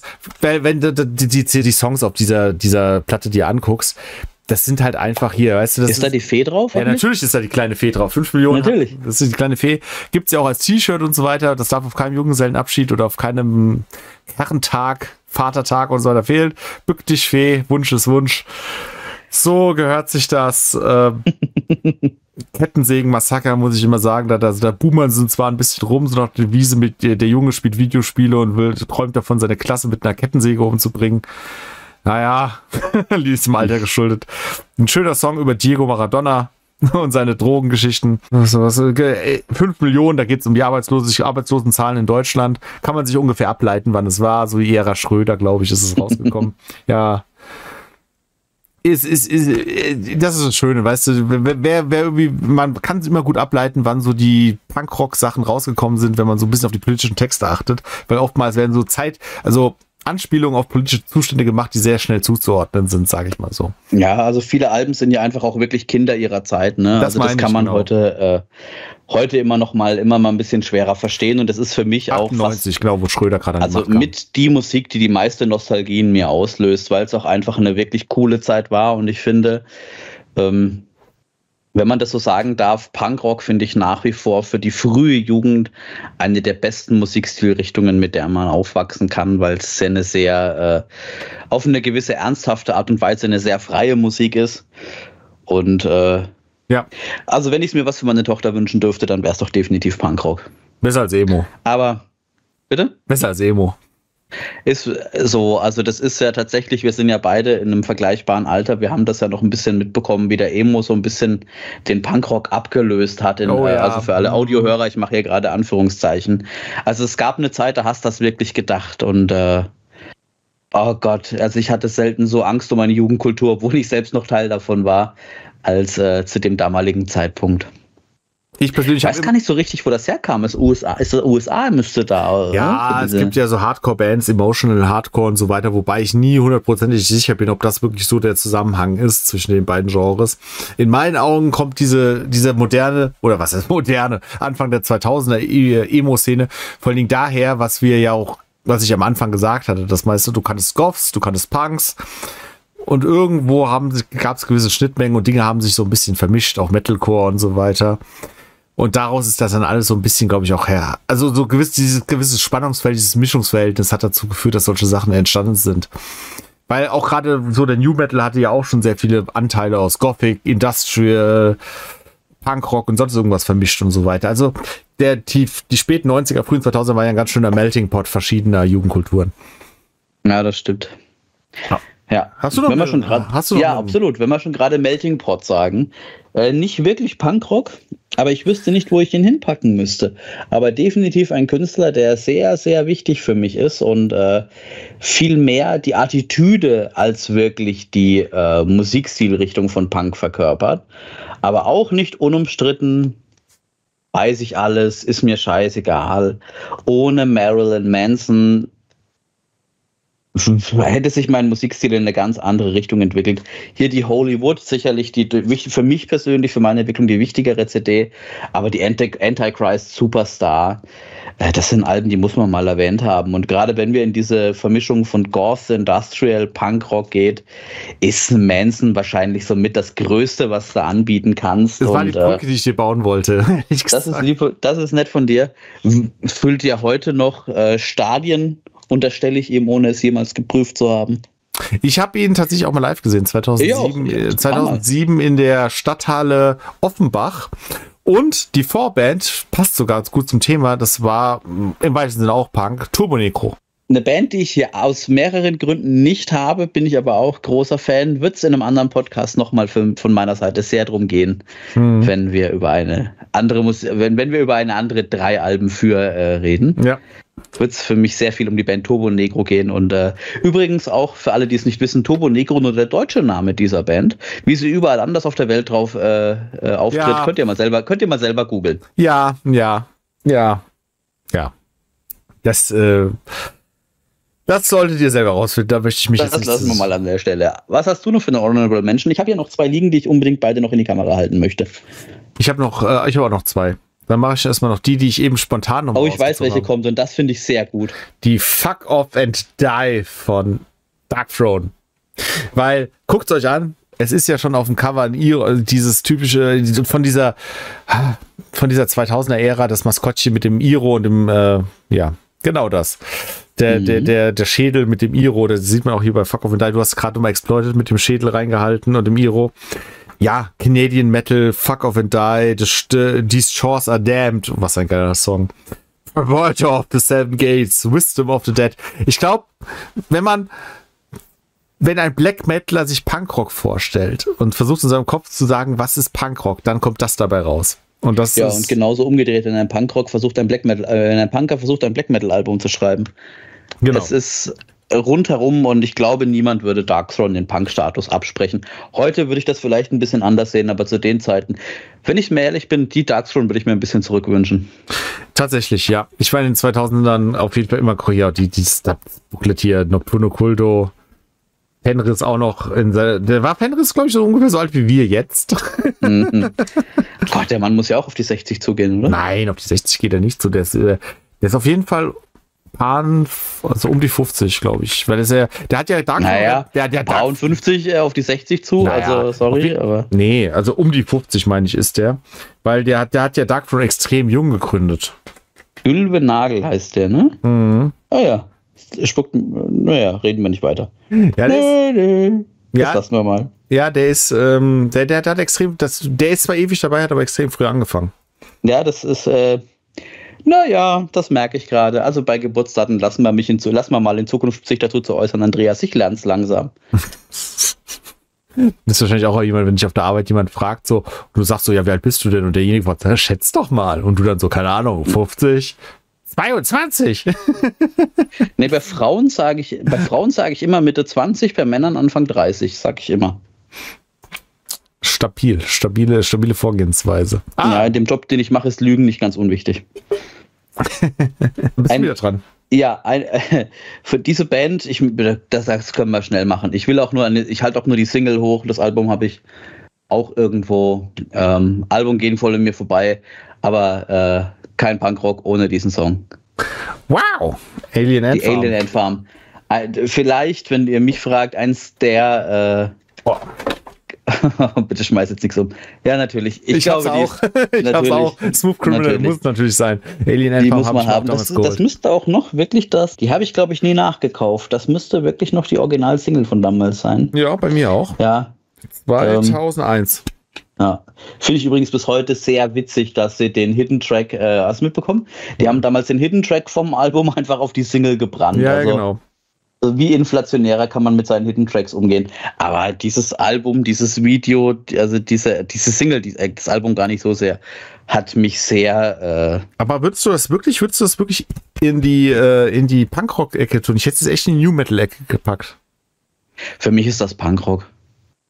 Ich weiß nicht, wo da der Metal-Einfluss sein soll. Also New Metal, finde ich, muss für mich immer wie bei Korn oder bei Limp Bizkit so ein, ein gewisser Metal-Sound erkennbar sein und sorry, da äh, bin ich da gar nichts, bin ich da gar nicht mit einfach. Also das ist für mich astreiner Punkrock. Das ist noch eher Pop-Punk, finde ich, als Oh, okay, krass. Ich jetzt so dieses Ja, aber die Melodie ist ja von, von Michael Jackson. Ja, ne? aber sie haben es ja schon härter. Ja, gut, egal, lassen wir das. Gut, die B-Seite Movies, die ist schon sehr melodisch, da gebe ich dir recht. Ja. Metal Sound kommt jetzt gleich bei mir. Ja, dann habe ich jetzt noch eine. Die habe ich mir sogar gar nicht vor so aller langer Zeit gelaufen. Da habe ich eine Oettinger Villa, auch einer sehr schönen Punk-Location in Darmstadt gesehen, wo wir eben schon über Darmstädter Bier abgelästert haben. Oettinger äh, Villa habe ich keine guten Anekdoten zu erzählen. Ja. Was hast du denn da? Wüt. Die Wüt-Demo. Ach, da erinnere ich mich dran. Da warst du, glaube ich, auch, hast auch ein Video drüber gemacht, glaube ja, ich. Ja, ne? genau. Da habe ich mal auch Sachen eingeblendet und so weiter. Ja, das ist so eine.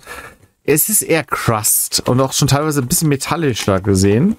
Aber die Performance, die Mitglieder und so weiter, das ist auf jeden Fall schon, ähm, ich kann mal was zeigen, hier ist noch ein kleines Poster mit dabei. Also das sieht, das sieht alles schon sehr punkrockig aus, was oh, ist doch eine Dame auch am Gesang, Ja, sind zwei Frauen, zwei Männer, glaube ich, wenn ich das richtig, Ach, richtig, richtig, im Kopf habe, ja.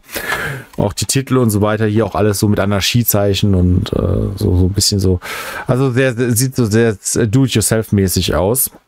Moorloch, Mordfabrik, Disco und so weiter. Also das ist, es ist von vorne bis hinten sehr punkig gemacht. Es klingt halt teilweise sehr death-metallig, muss ich ganz ehrlich sagen, weil der Gesang halt sehr gegrollt ist. Aber tut ja der Sache keinen Abbruch, ne? Ich meine, die Grenzen sind ja sowieso fließend und ich mag es ja auch, wenn die Leute so ein bisschen über ihren Horizont rausgehen. Ich finde es ehrlich gesagt ziemlich beschissen, wenn die Leute im, im Punkrock so ultra poppigen Punk, Punk machen, wirklich äh, im, also jetzt nicht nicht im Mainstream, sondern im Punk, äh, im, im Punk Underground, wo ich mir denke so, naja, muss jetzt nicht sein. Nutzt doch die, die Schrulligkeit, die euch der Underground bietet. So, ja. mal kurz, das dauert zehn Minuten. Da sind, glaube ich, wie viele, was hatte ich gerade gesagt? Das sind, glaube ich. Acht Songs wahrscheinlich, ne? in, äh, zwei, vier, ja, acht, acht Songs, genau. Acht Songs, dauern neun, neun Minuten Batsch, also knapp zehn Minuten. Also kann man sich mal gut geben zwischendurch. Ja, das ist die, das ist, glaube ich, die Art Punkrock, wo man sich im Kopf vorstellt und sie klingt auch genauso, wie man sich im Kopf vorstellt. Ja, man sieht auch hier, dass das, das, das Magnetband ist nicht besonders viel, was da, da ist. ah ja, man muss sparen. Wo man kann. Äh, die nächste Band, äh, wenn du äh, Alien Endfarm schon als New Metal bezeichnest, wird, wirst du mir das auch nicht als Punkrock durchgehen lassen, wahrscheinlich. Quellertag. Quellertag. Auch das habe ich, das Album. Ja. Ja. Mehr? Ich habe, ja, ja. Ich habe beide. Die mehr habe ich mir aber hochgehalten, weil es einfach für mich das Prägendere ist. Ja, das ist auch das Beste, finde ich. Finde ich auch. Also ich, äh, die Band, äh, mal so eine Band, die mich mal so richtig, richtig aus dem Nichts getroffen hat. Ja. Sieht ja auch, also ich weiß, dieser Style war damals dann total in. Ähm, auch Würzburg, ich bin ja auch Würzburger, Fuck Your Shadow From Behind, damals äh, die Vorgängerband, die der Weg der Freiheit immer wieder gerne aufs Brot geschmiert wird. Ähm, damals ein ähnlicher musikal, also ein ähnlicher äh, Stil, was die ganze Koloration angeht, was die Designs angeht. Ähm, Sie gerade die CD ist gar nicht drin, ich weiß gar nicht, wo die ist.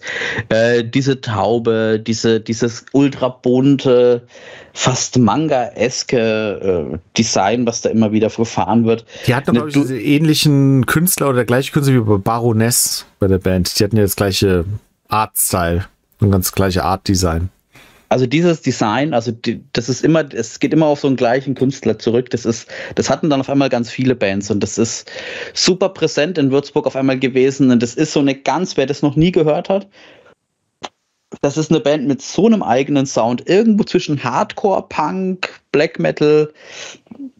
Niemand weiß es so richtig, ultra treibend, wahnsinnig energetische Musik. Ähm, ja, und äh, irgendwie hat es mich beim Punk angesprochen, aber wahrscheinlich, weil ich einfach auch, weil das einfach so richtig geile Musik zum Anecken ist.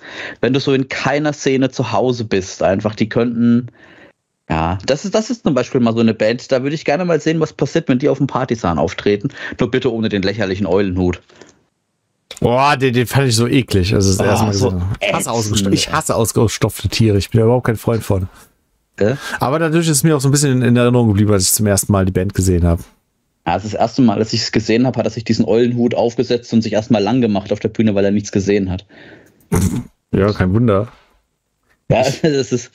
Also für alle, die es nicht kennen, googelt das, könnt ihr euch gerne mal googeln, also bei YouTube eingeben, Quälertag Eule. Also dieser Hut ist dermaßen hässlich und also ja, das naja. ist schon was Besonderes. Ich habe Quatsch erzählt. Nein, es war natürlich direkt der Typ von Baroness, der das äh, Artwork gemacht hat für das Meer-Album. Und zwar Ach, äh, John Dyer äh, Basley. Also der Mann ist auf jeden Fall äh, sehr schnell mit diesem Stil sehr reich geworden, weil also jede Band, die was auf sich gehalten hat, zu einem gewissen kurzen Zeitfenster so ein Design sich rausgelassen hat. Also das ist ähm, ja ja äh, eine Band, die äh, ich finde sie nach wie vor sehr mutig. Typischer Orange Amp Gitarrensound, um übrigens noch einmal ganz kurz dieses äh, Nerdige rauszulassen und äh, ein sehr, äh, ja, einfach ultra viel Punch, schön aus den Mitten. So, so, so äh, dürfen Gitarren gerne öfter klingen. Oh ja, auf jeden Fall. Also wir haben die Honorable Mentions das hinter uns gelassen. Wir kommen jetzt wieder zu unserem letzten, unserer, ja, ist jetzt nicht die Nummer eins, das ist jetzt keine Rangfolge, aber zu dem letzten Pick, den wir jetzt mit auf die Insel nehmen. Bei mir ist äh, es. Bei mir hat ja. Let's, Ach, da hast du sie. Ja, Let's Start a War von The Exploited. Mit dem 1990? 91? Ja, das ist die 92er Version, aber eigentlich ist das Album von 83. Ja. Weil der, der ja, die 83er Version kannst du ja nicht bezahlen. Also das habe ich mir schon gedacht, dass du das Tape hier nicht. Wenn du das Originaltape von 83 hättest, äh, da äh, das würdest du, glaube ich, nicht so freigebig in die Kamera halten. Nee, nee, nee. Das habe ich äh, von einem Kumpel, der ein paar Tapes loswerden wollte, von seiner Tape-Sammlung gemeint, so hier, ich will ein paar loswerden, will es ein paar haben. Und da habe ich mir direkt die Exploited. Ich habe noch ein paar andere Exploited-Alben tatsächlich. Und die habe ich mir direkt mitgenommen, weil ich gedacht habe, so, ich meine, das ist ja auch dieses, das kennt man ja einfach, dieser, dieser Iro, dieser rote Totenschädel mit dem Iro, das sieht man ja auf so unglaublich vielen Punk-T-Shirts. Das ist, glaube ich, neben wie du schon eben gesagt hast, Misfits, neben Ramones und so weiter, eins der beliebtesten Punk-T-Shirt-Motive, die man kennt. Worum geht's bei dem Album? Wenn man das Album anhört, hat man das Gefühl, dass es teilweise schon fast ein Konzeptalbum ist, weil sehr viel auch an Anfang der Songs mit so Samples gearbeitet wird, aus so gerade aus so Nachrichtenberichten aus der damaligen Zeit. 83, das war gerade die Zeit des Falklandkrieges, des Falklandkonfliktes. Der volle Titel ist ja auch Let's Start a War, Set Maggie One Day. Also mhm. Maggie Thatcher, Margaret Thatcher. Mhm, genau. Das, ich glaube, keine Politikerin hat die Punk-Szene so sehr beeinflusst wie Margaret Thatcher. Ja, da gibt es auch ein paar, ein paar Sex Pistols-Geschichten, ne? Ja, es gibt ja auch diese auch bei Iron Maiden ja auch. Ich meine, Woman in Uniform, einer der ganz frühen Songs, geht ja auch um. Also ist ja auch mit viel mit Margaret Thatcher gespielt worden. So klar, Sex, Sex Pistols auch. Äh, aber generell ja. die ganze britische Bevölkerung. Ich meine, als sie Das Glatteis kann ich mit dir machen, oder? Die Exploited kommen nochmal aus welchem Land? Schottland. Ja, sehr gut. Du bist gut vorbereitet. Ja, ja. Weil äh, äh, viele stecken sie ja einfach durch, durch diese ganzen Geschichten, stecken sie immer nach UK. Ja, gut, es ist ja UK, aber es ist halt nicht England. Ja, ja, eben. Also das ist schon äh, den Unterschied. Da ich, äh, ist die Band doch durchaus, äh, das ist der Band schon wichtig, nicht? Das ist äh ja auf jeden Fall. Ich finde auch, sie sind ja auch nicht, auch wenn sie Ende der 70er gegründet wurden, sind sie ja nicht Teil der 77 oder 78 Bewegung des Punkrocks, so der ersten Welle, sondern man zählt sie eher so zu dieser 82er, zu dieser zweiten ja, Welle. Ja, aber äh, so ein bisschen wie, es ist ja auch ein bisschen logisch, wenn man ehrlich ist, ne, dass die zweite Welle ja Bands begründen müssen, die in der ersten schon eine Rolle gespielt haben, aber eher so diesen ja, von der ersten den neuen Geist so ein bisschen verkörpern und wo äh, ja, ja, sie haben wir wollen jetzt nicht zu sehr in die Geschichte des Punkrocks gehen, weil ich finde, da, da könnte man einen eigenen Podcast drüber machen, so diese, allein diese 77er-Geschichte. Nee, das, das, das, das, da müsste ich auch echt mich besser vorbereiten. Was ich nur sagen will, ist einfach, dass Exploited halt sich einfach mal sehr stark von so Bands wie Sex Pistols und so weiter stark unterschieden haben, weil sie auch noch mal deutlich stärker so Metal-Elemente eingebaut haben. Ja, ich würde einfach tatsächlich sagen, auch äh, deutlich äh, direkt, direkter in die äh, eine sehr gewalttätige Richtung gegangen sind als die Sex Pistols selber, die ja eher so die, die Selbstzerstörung und Hedonismus äh, verkörpert haben. Ja, dieses Rotzige und dieses spuckt dir ins Gesicht und ich kack dir in den Vorgarten und so ein Krempel. Und ich trage eine SS-Uniform auf der Bühne. Wer macht das nicht? Er macht das nicht. Marilyn Manson wieder hier. Wer macht das nicht? Ja, na, wobei, was, eine SS-Uniform? Nein, das, das, war natürlich sein eigenes, es war natürlich immer nur wieder mit gespielt, aber. Nee, also bei den Sex übrigens, wer das nicht weiß, äh, ich glaube, die Band, die mehr Merchandise mit Hakenkreuzen rausgebracht hat wie Lanza, das sind die Sex Pistols. Das ist ja, also. Ja. Naja. Ich sag so, alles. Äh, Weddy Buchen, das einzige verbleibende Hauptmitglied. Er ist ja trotzdem kein Gründungsmitglied, ist witzigerweise. Nein, nein, also. nein, nein. Ja, wie, die Band ist, wie du schon gesagt hast, ne? Äh, so, also, ne, die gehen alle, also da, da, wenn man so einen Lebensstil pflegt, dann wirst du wahrscheinlich nicht, nicht 80. Man muss sagen, Wetty trotzdem, du hast ja selbst gesagt, immer noch wirkt er trotzdem noch fit, auch Ey, dafür, dass er wirklich? drei Bypässe hat, schon Herzinfarkt und sonst was hinter sich hat. Und er hat ja auch, als die Corona-Pandemie aufkam, hat er ja gemeint, so, wir lassen uns von so einem Scheiß-Virus nichts vorschreiben, wir spielen trotzdem weiter. Und äh, ich habe auch, wie gesagt, ich habe totale Herzprobleme, eigentlich totale Risikogruppe, ist mir scheißegal, ich lasse mir von so einem Virus nichts vorschreiben.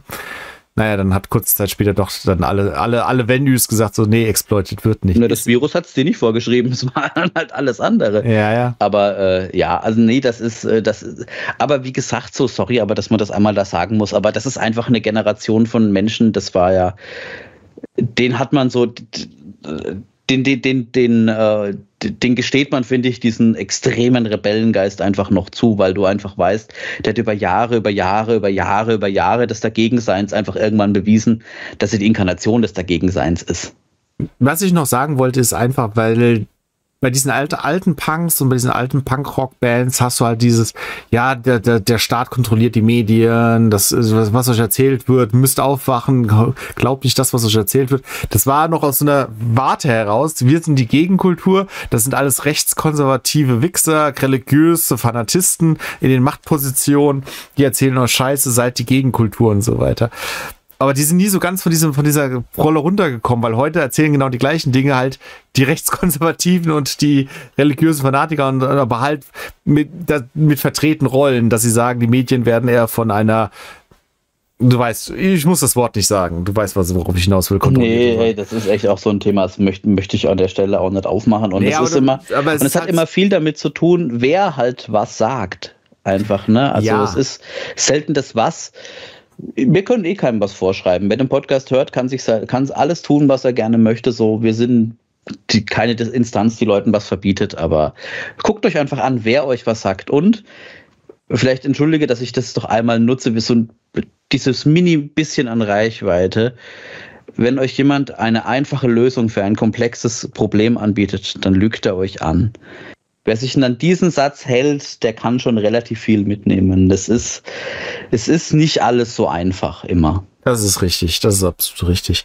Ich will es auch gar nicht so weit fassen. Ich, ich, will, Nein. Nur, ich will nur damit sagen, dass teilweise die Punkrock-Attitüde von 1983 im Jahr 2024 vielleicht ein bisschen angepasst, also dass man sich ein bisschen. Ja, aber das wird doch die Exploited nicht mehr lernen. Nein, das müssen sie, das werden sie nicht mehr lernen. Aber das ist nur mal zum Verständnis, warum das manchmal clasht.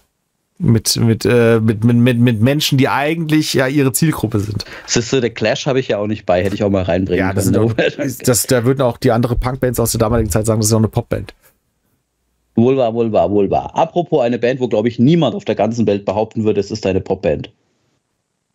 Ja. Meine letzte Veröffentlichung. Ja, hau mal raus. Und erschienen mal das jüngste Album, das ich euch hier hinhalte. Und äh, wer hätte gedacht, wenn ich euch The Misfits und Green Day äh, präsentiere, dass die dritte äh, die meine jüngste Veröffentlichung ist. Klingt ein bisschen, als wäre es auch in den 80ern aufgenommen. Die zweite Veröffentlichung einer Band aus Baden-Württemberg, aus Backnang, wenn ich mich nicht komplett täusche. Totenmond. Ja. Für alle, die Totenmond nicht kennen. Weil ich weiß jetzt schon wieder, was kommen wird von einigen Leuten. Öh, das ist eine Metalband, öh, das ist eine Death Metal Band, öh, das ist nee. Ist es nett.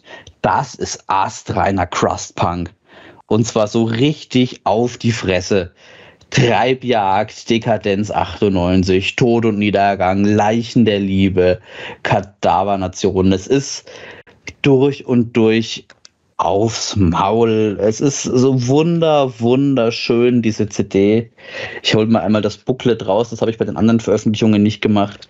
Aber ihr habt immer diesen, diese Holzschnittoptik, den Text daneben. Es ist kein, keine Politik, kein einfach nur zerstören, zerstören, zerstören. Hier ein wunderschönes Bild. Ähm, ja, ich habe das Album übrigens auch. Ich habe es als Digipack und ich hätte mir es damals, als ich es mir auf dem Flohmarkt gekauft habe, genauer angucken müssen. Nämlich als ich zu Hause war und das Ding aufgemacht habe, war eine gebrannte CD da drin. Es war, das, es war, das, Album, es war das Album, es war auf einem gebrannten Rohling. In der Originalverpackung. Ja, also eine, eine, äh, wie sagt man, Sicherheitskopie. Ja. In diesem Album übrigens, schöne Grüße, wird, ich ist mir heute beim Durchblättern nochmal aufgefallen, der gute Zwini von Nuclear Blast gegrüßt. Wie es dazu kam, weiß ich nicht, aber äh, auch an dich schöne Grüße. Und was ich so wunderschön finde, das hat man früher in den Alben gehabt, das ist noch ein schönes Original. Ihr könnt hier, ich hoffe, man kann es ein bisschen sehen. Fuck off and die. Konntet damals äh, das etwas heraustrennen.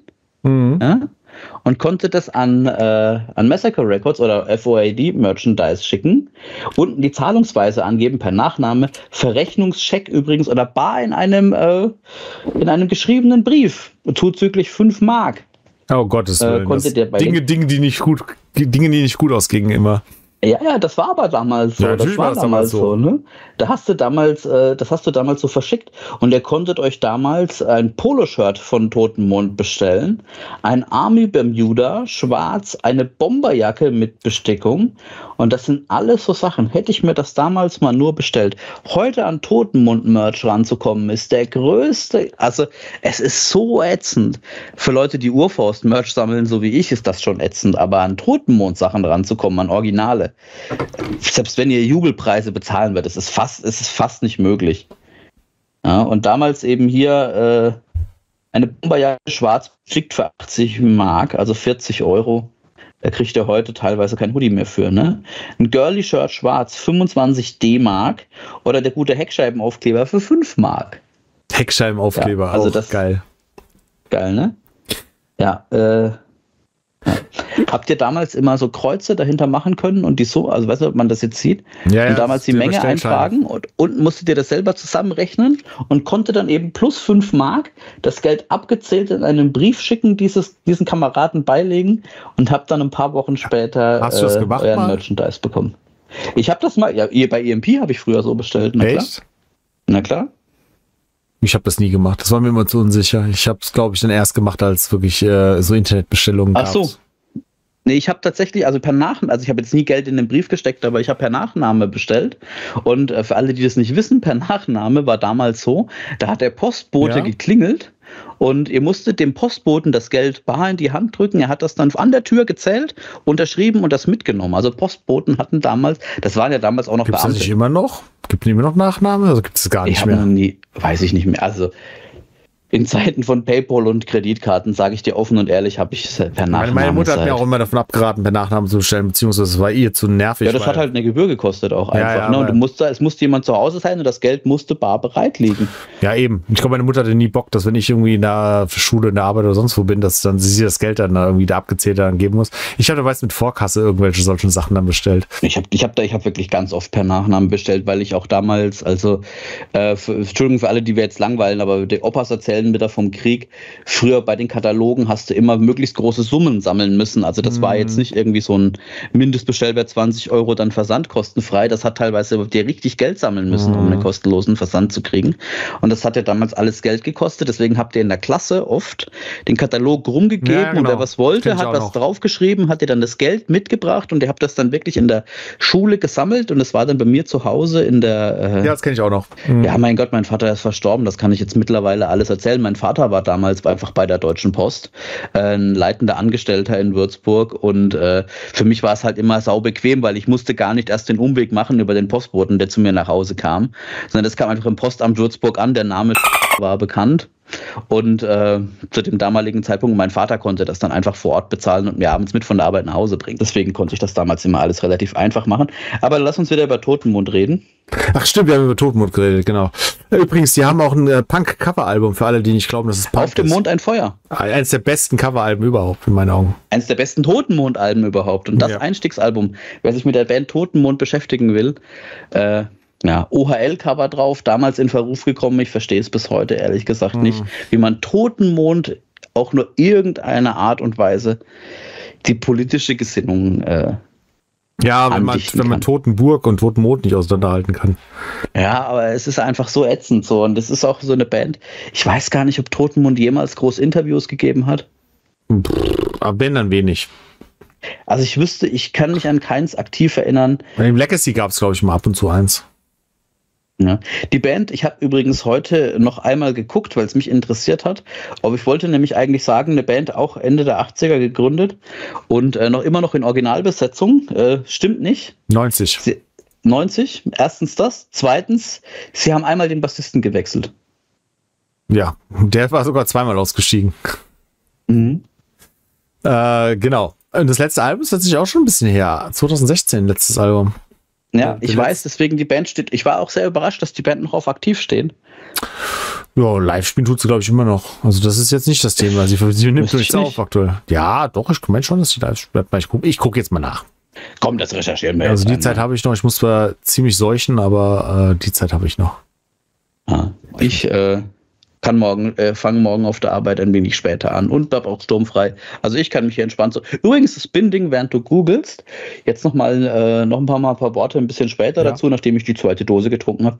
Das kannst du absolut machen. Also ich wollte hier eigentlich einen kleinen lustigen Verriss von hessischem Bier äh, machen, aber du, das Binding kannst du machen. Aber ganz ohne Probleme. Was siehst du? Ja, also da äh, muss ich, glaube ich, einmal Abbitte leisten. Ne? Also die Dose fühlt sich immer noch an wie Perlenbacher. Ja, das so ultra, ultra dünn. Ja, das, das stimmt, das stimmt. Also es fühlt sich wirklich scheiße an. Ja.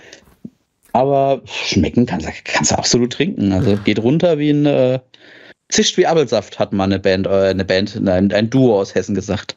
Nee, das letzte, das letzte Konzert ist ja auch laut, laut Facebook, ist, keine Ahnung. Kann auch sein, dass sie irgendwo gespielt haben, was, wo die Veranstaltung hier nicht bei denen drin steht. Also 2016 haben sie die letzten Veranstaltungen drin, wo sie selbst aktiv waren. Also, keine Ahnung. Also ich würde mir. Ich glaube nämlich nicht, dass die Band noch äh, auftritt. Zumindest aktuell machen sie nicht viel. Schade. Mega. Also wenn, wenn ich irgendwann mal was von der Band äh, höre ich, ja. Schade, schade. Ich würde mir wünschen, dass die Band mal wieder zu sehen, weil sie sind eigentlich äh, live schon ziemlich gut. 2006 mal auf dem äh, Summer Breeze haben sie gespielt. Ich stand tatsächlich mit der Band auch schon mal in persönlichem Kontakt, weil ah. ich mit, für meine damalige Band ein Konzert mit ihnen veranstalten wollte. Mhm. Und äh, war damals blauäugig genug zu denken, du kannst deine Band wie Totenmund in ein Jugendzentrum holen. Ja.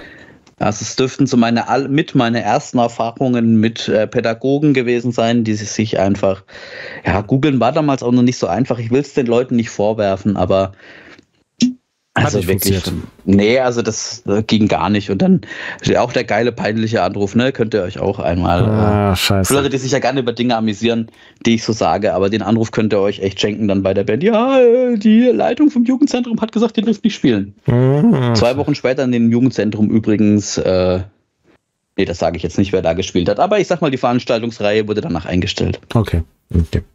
Weil bei englischsprachigen Bands googelt man nämlich gar nicht. So ist es leider manchmal. So ist es manchmal leider. So, ich würde sagen, wir fangen, fangen mal an mit dem Fazit. Wir haben jetzt, ja. ich glaube, wir haben eine gute Auswahl getroffen. Ich habe jetzt hier einmal schottischen Punk oder UK Punk. Ich habe einmal amerikanischen Skate Punk mit Offspring noch gehabt und hatte auch nochmal deutschen Underground Punk mit dem Schurkenstart. Jo, eigentlich eine gute. Auswahl. Und bei dir?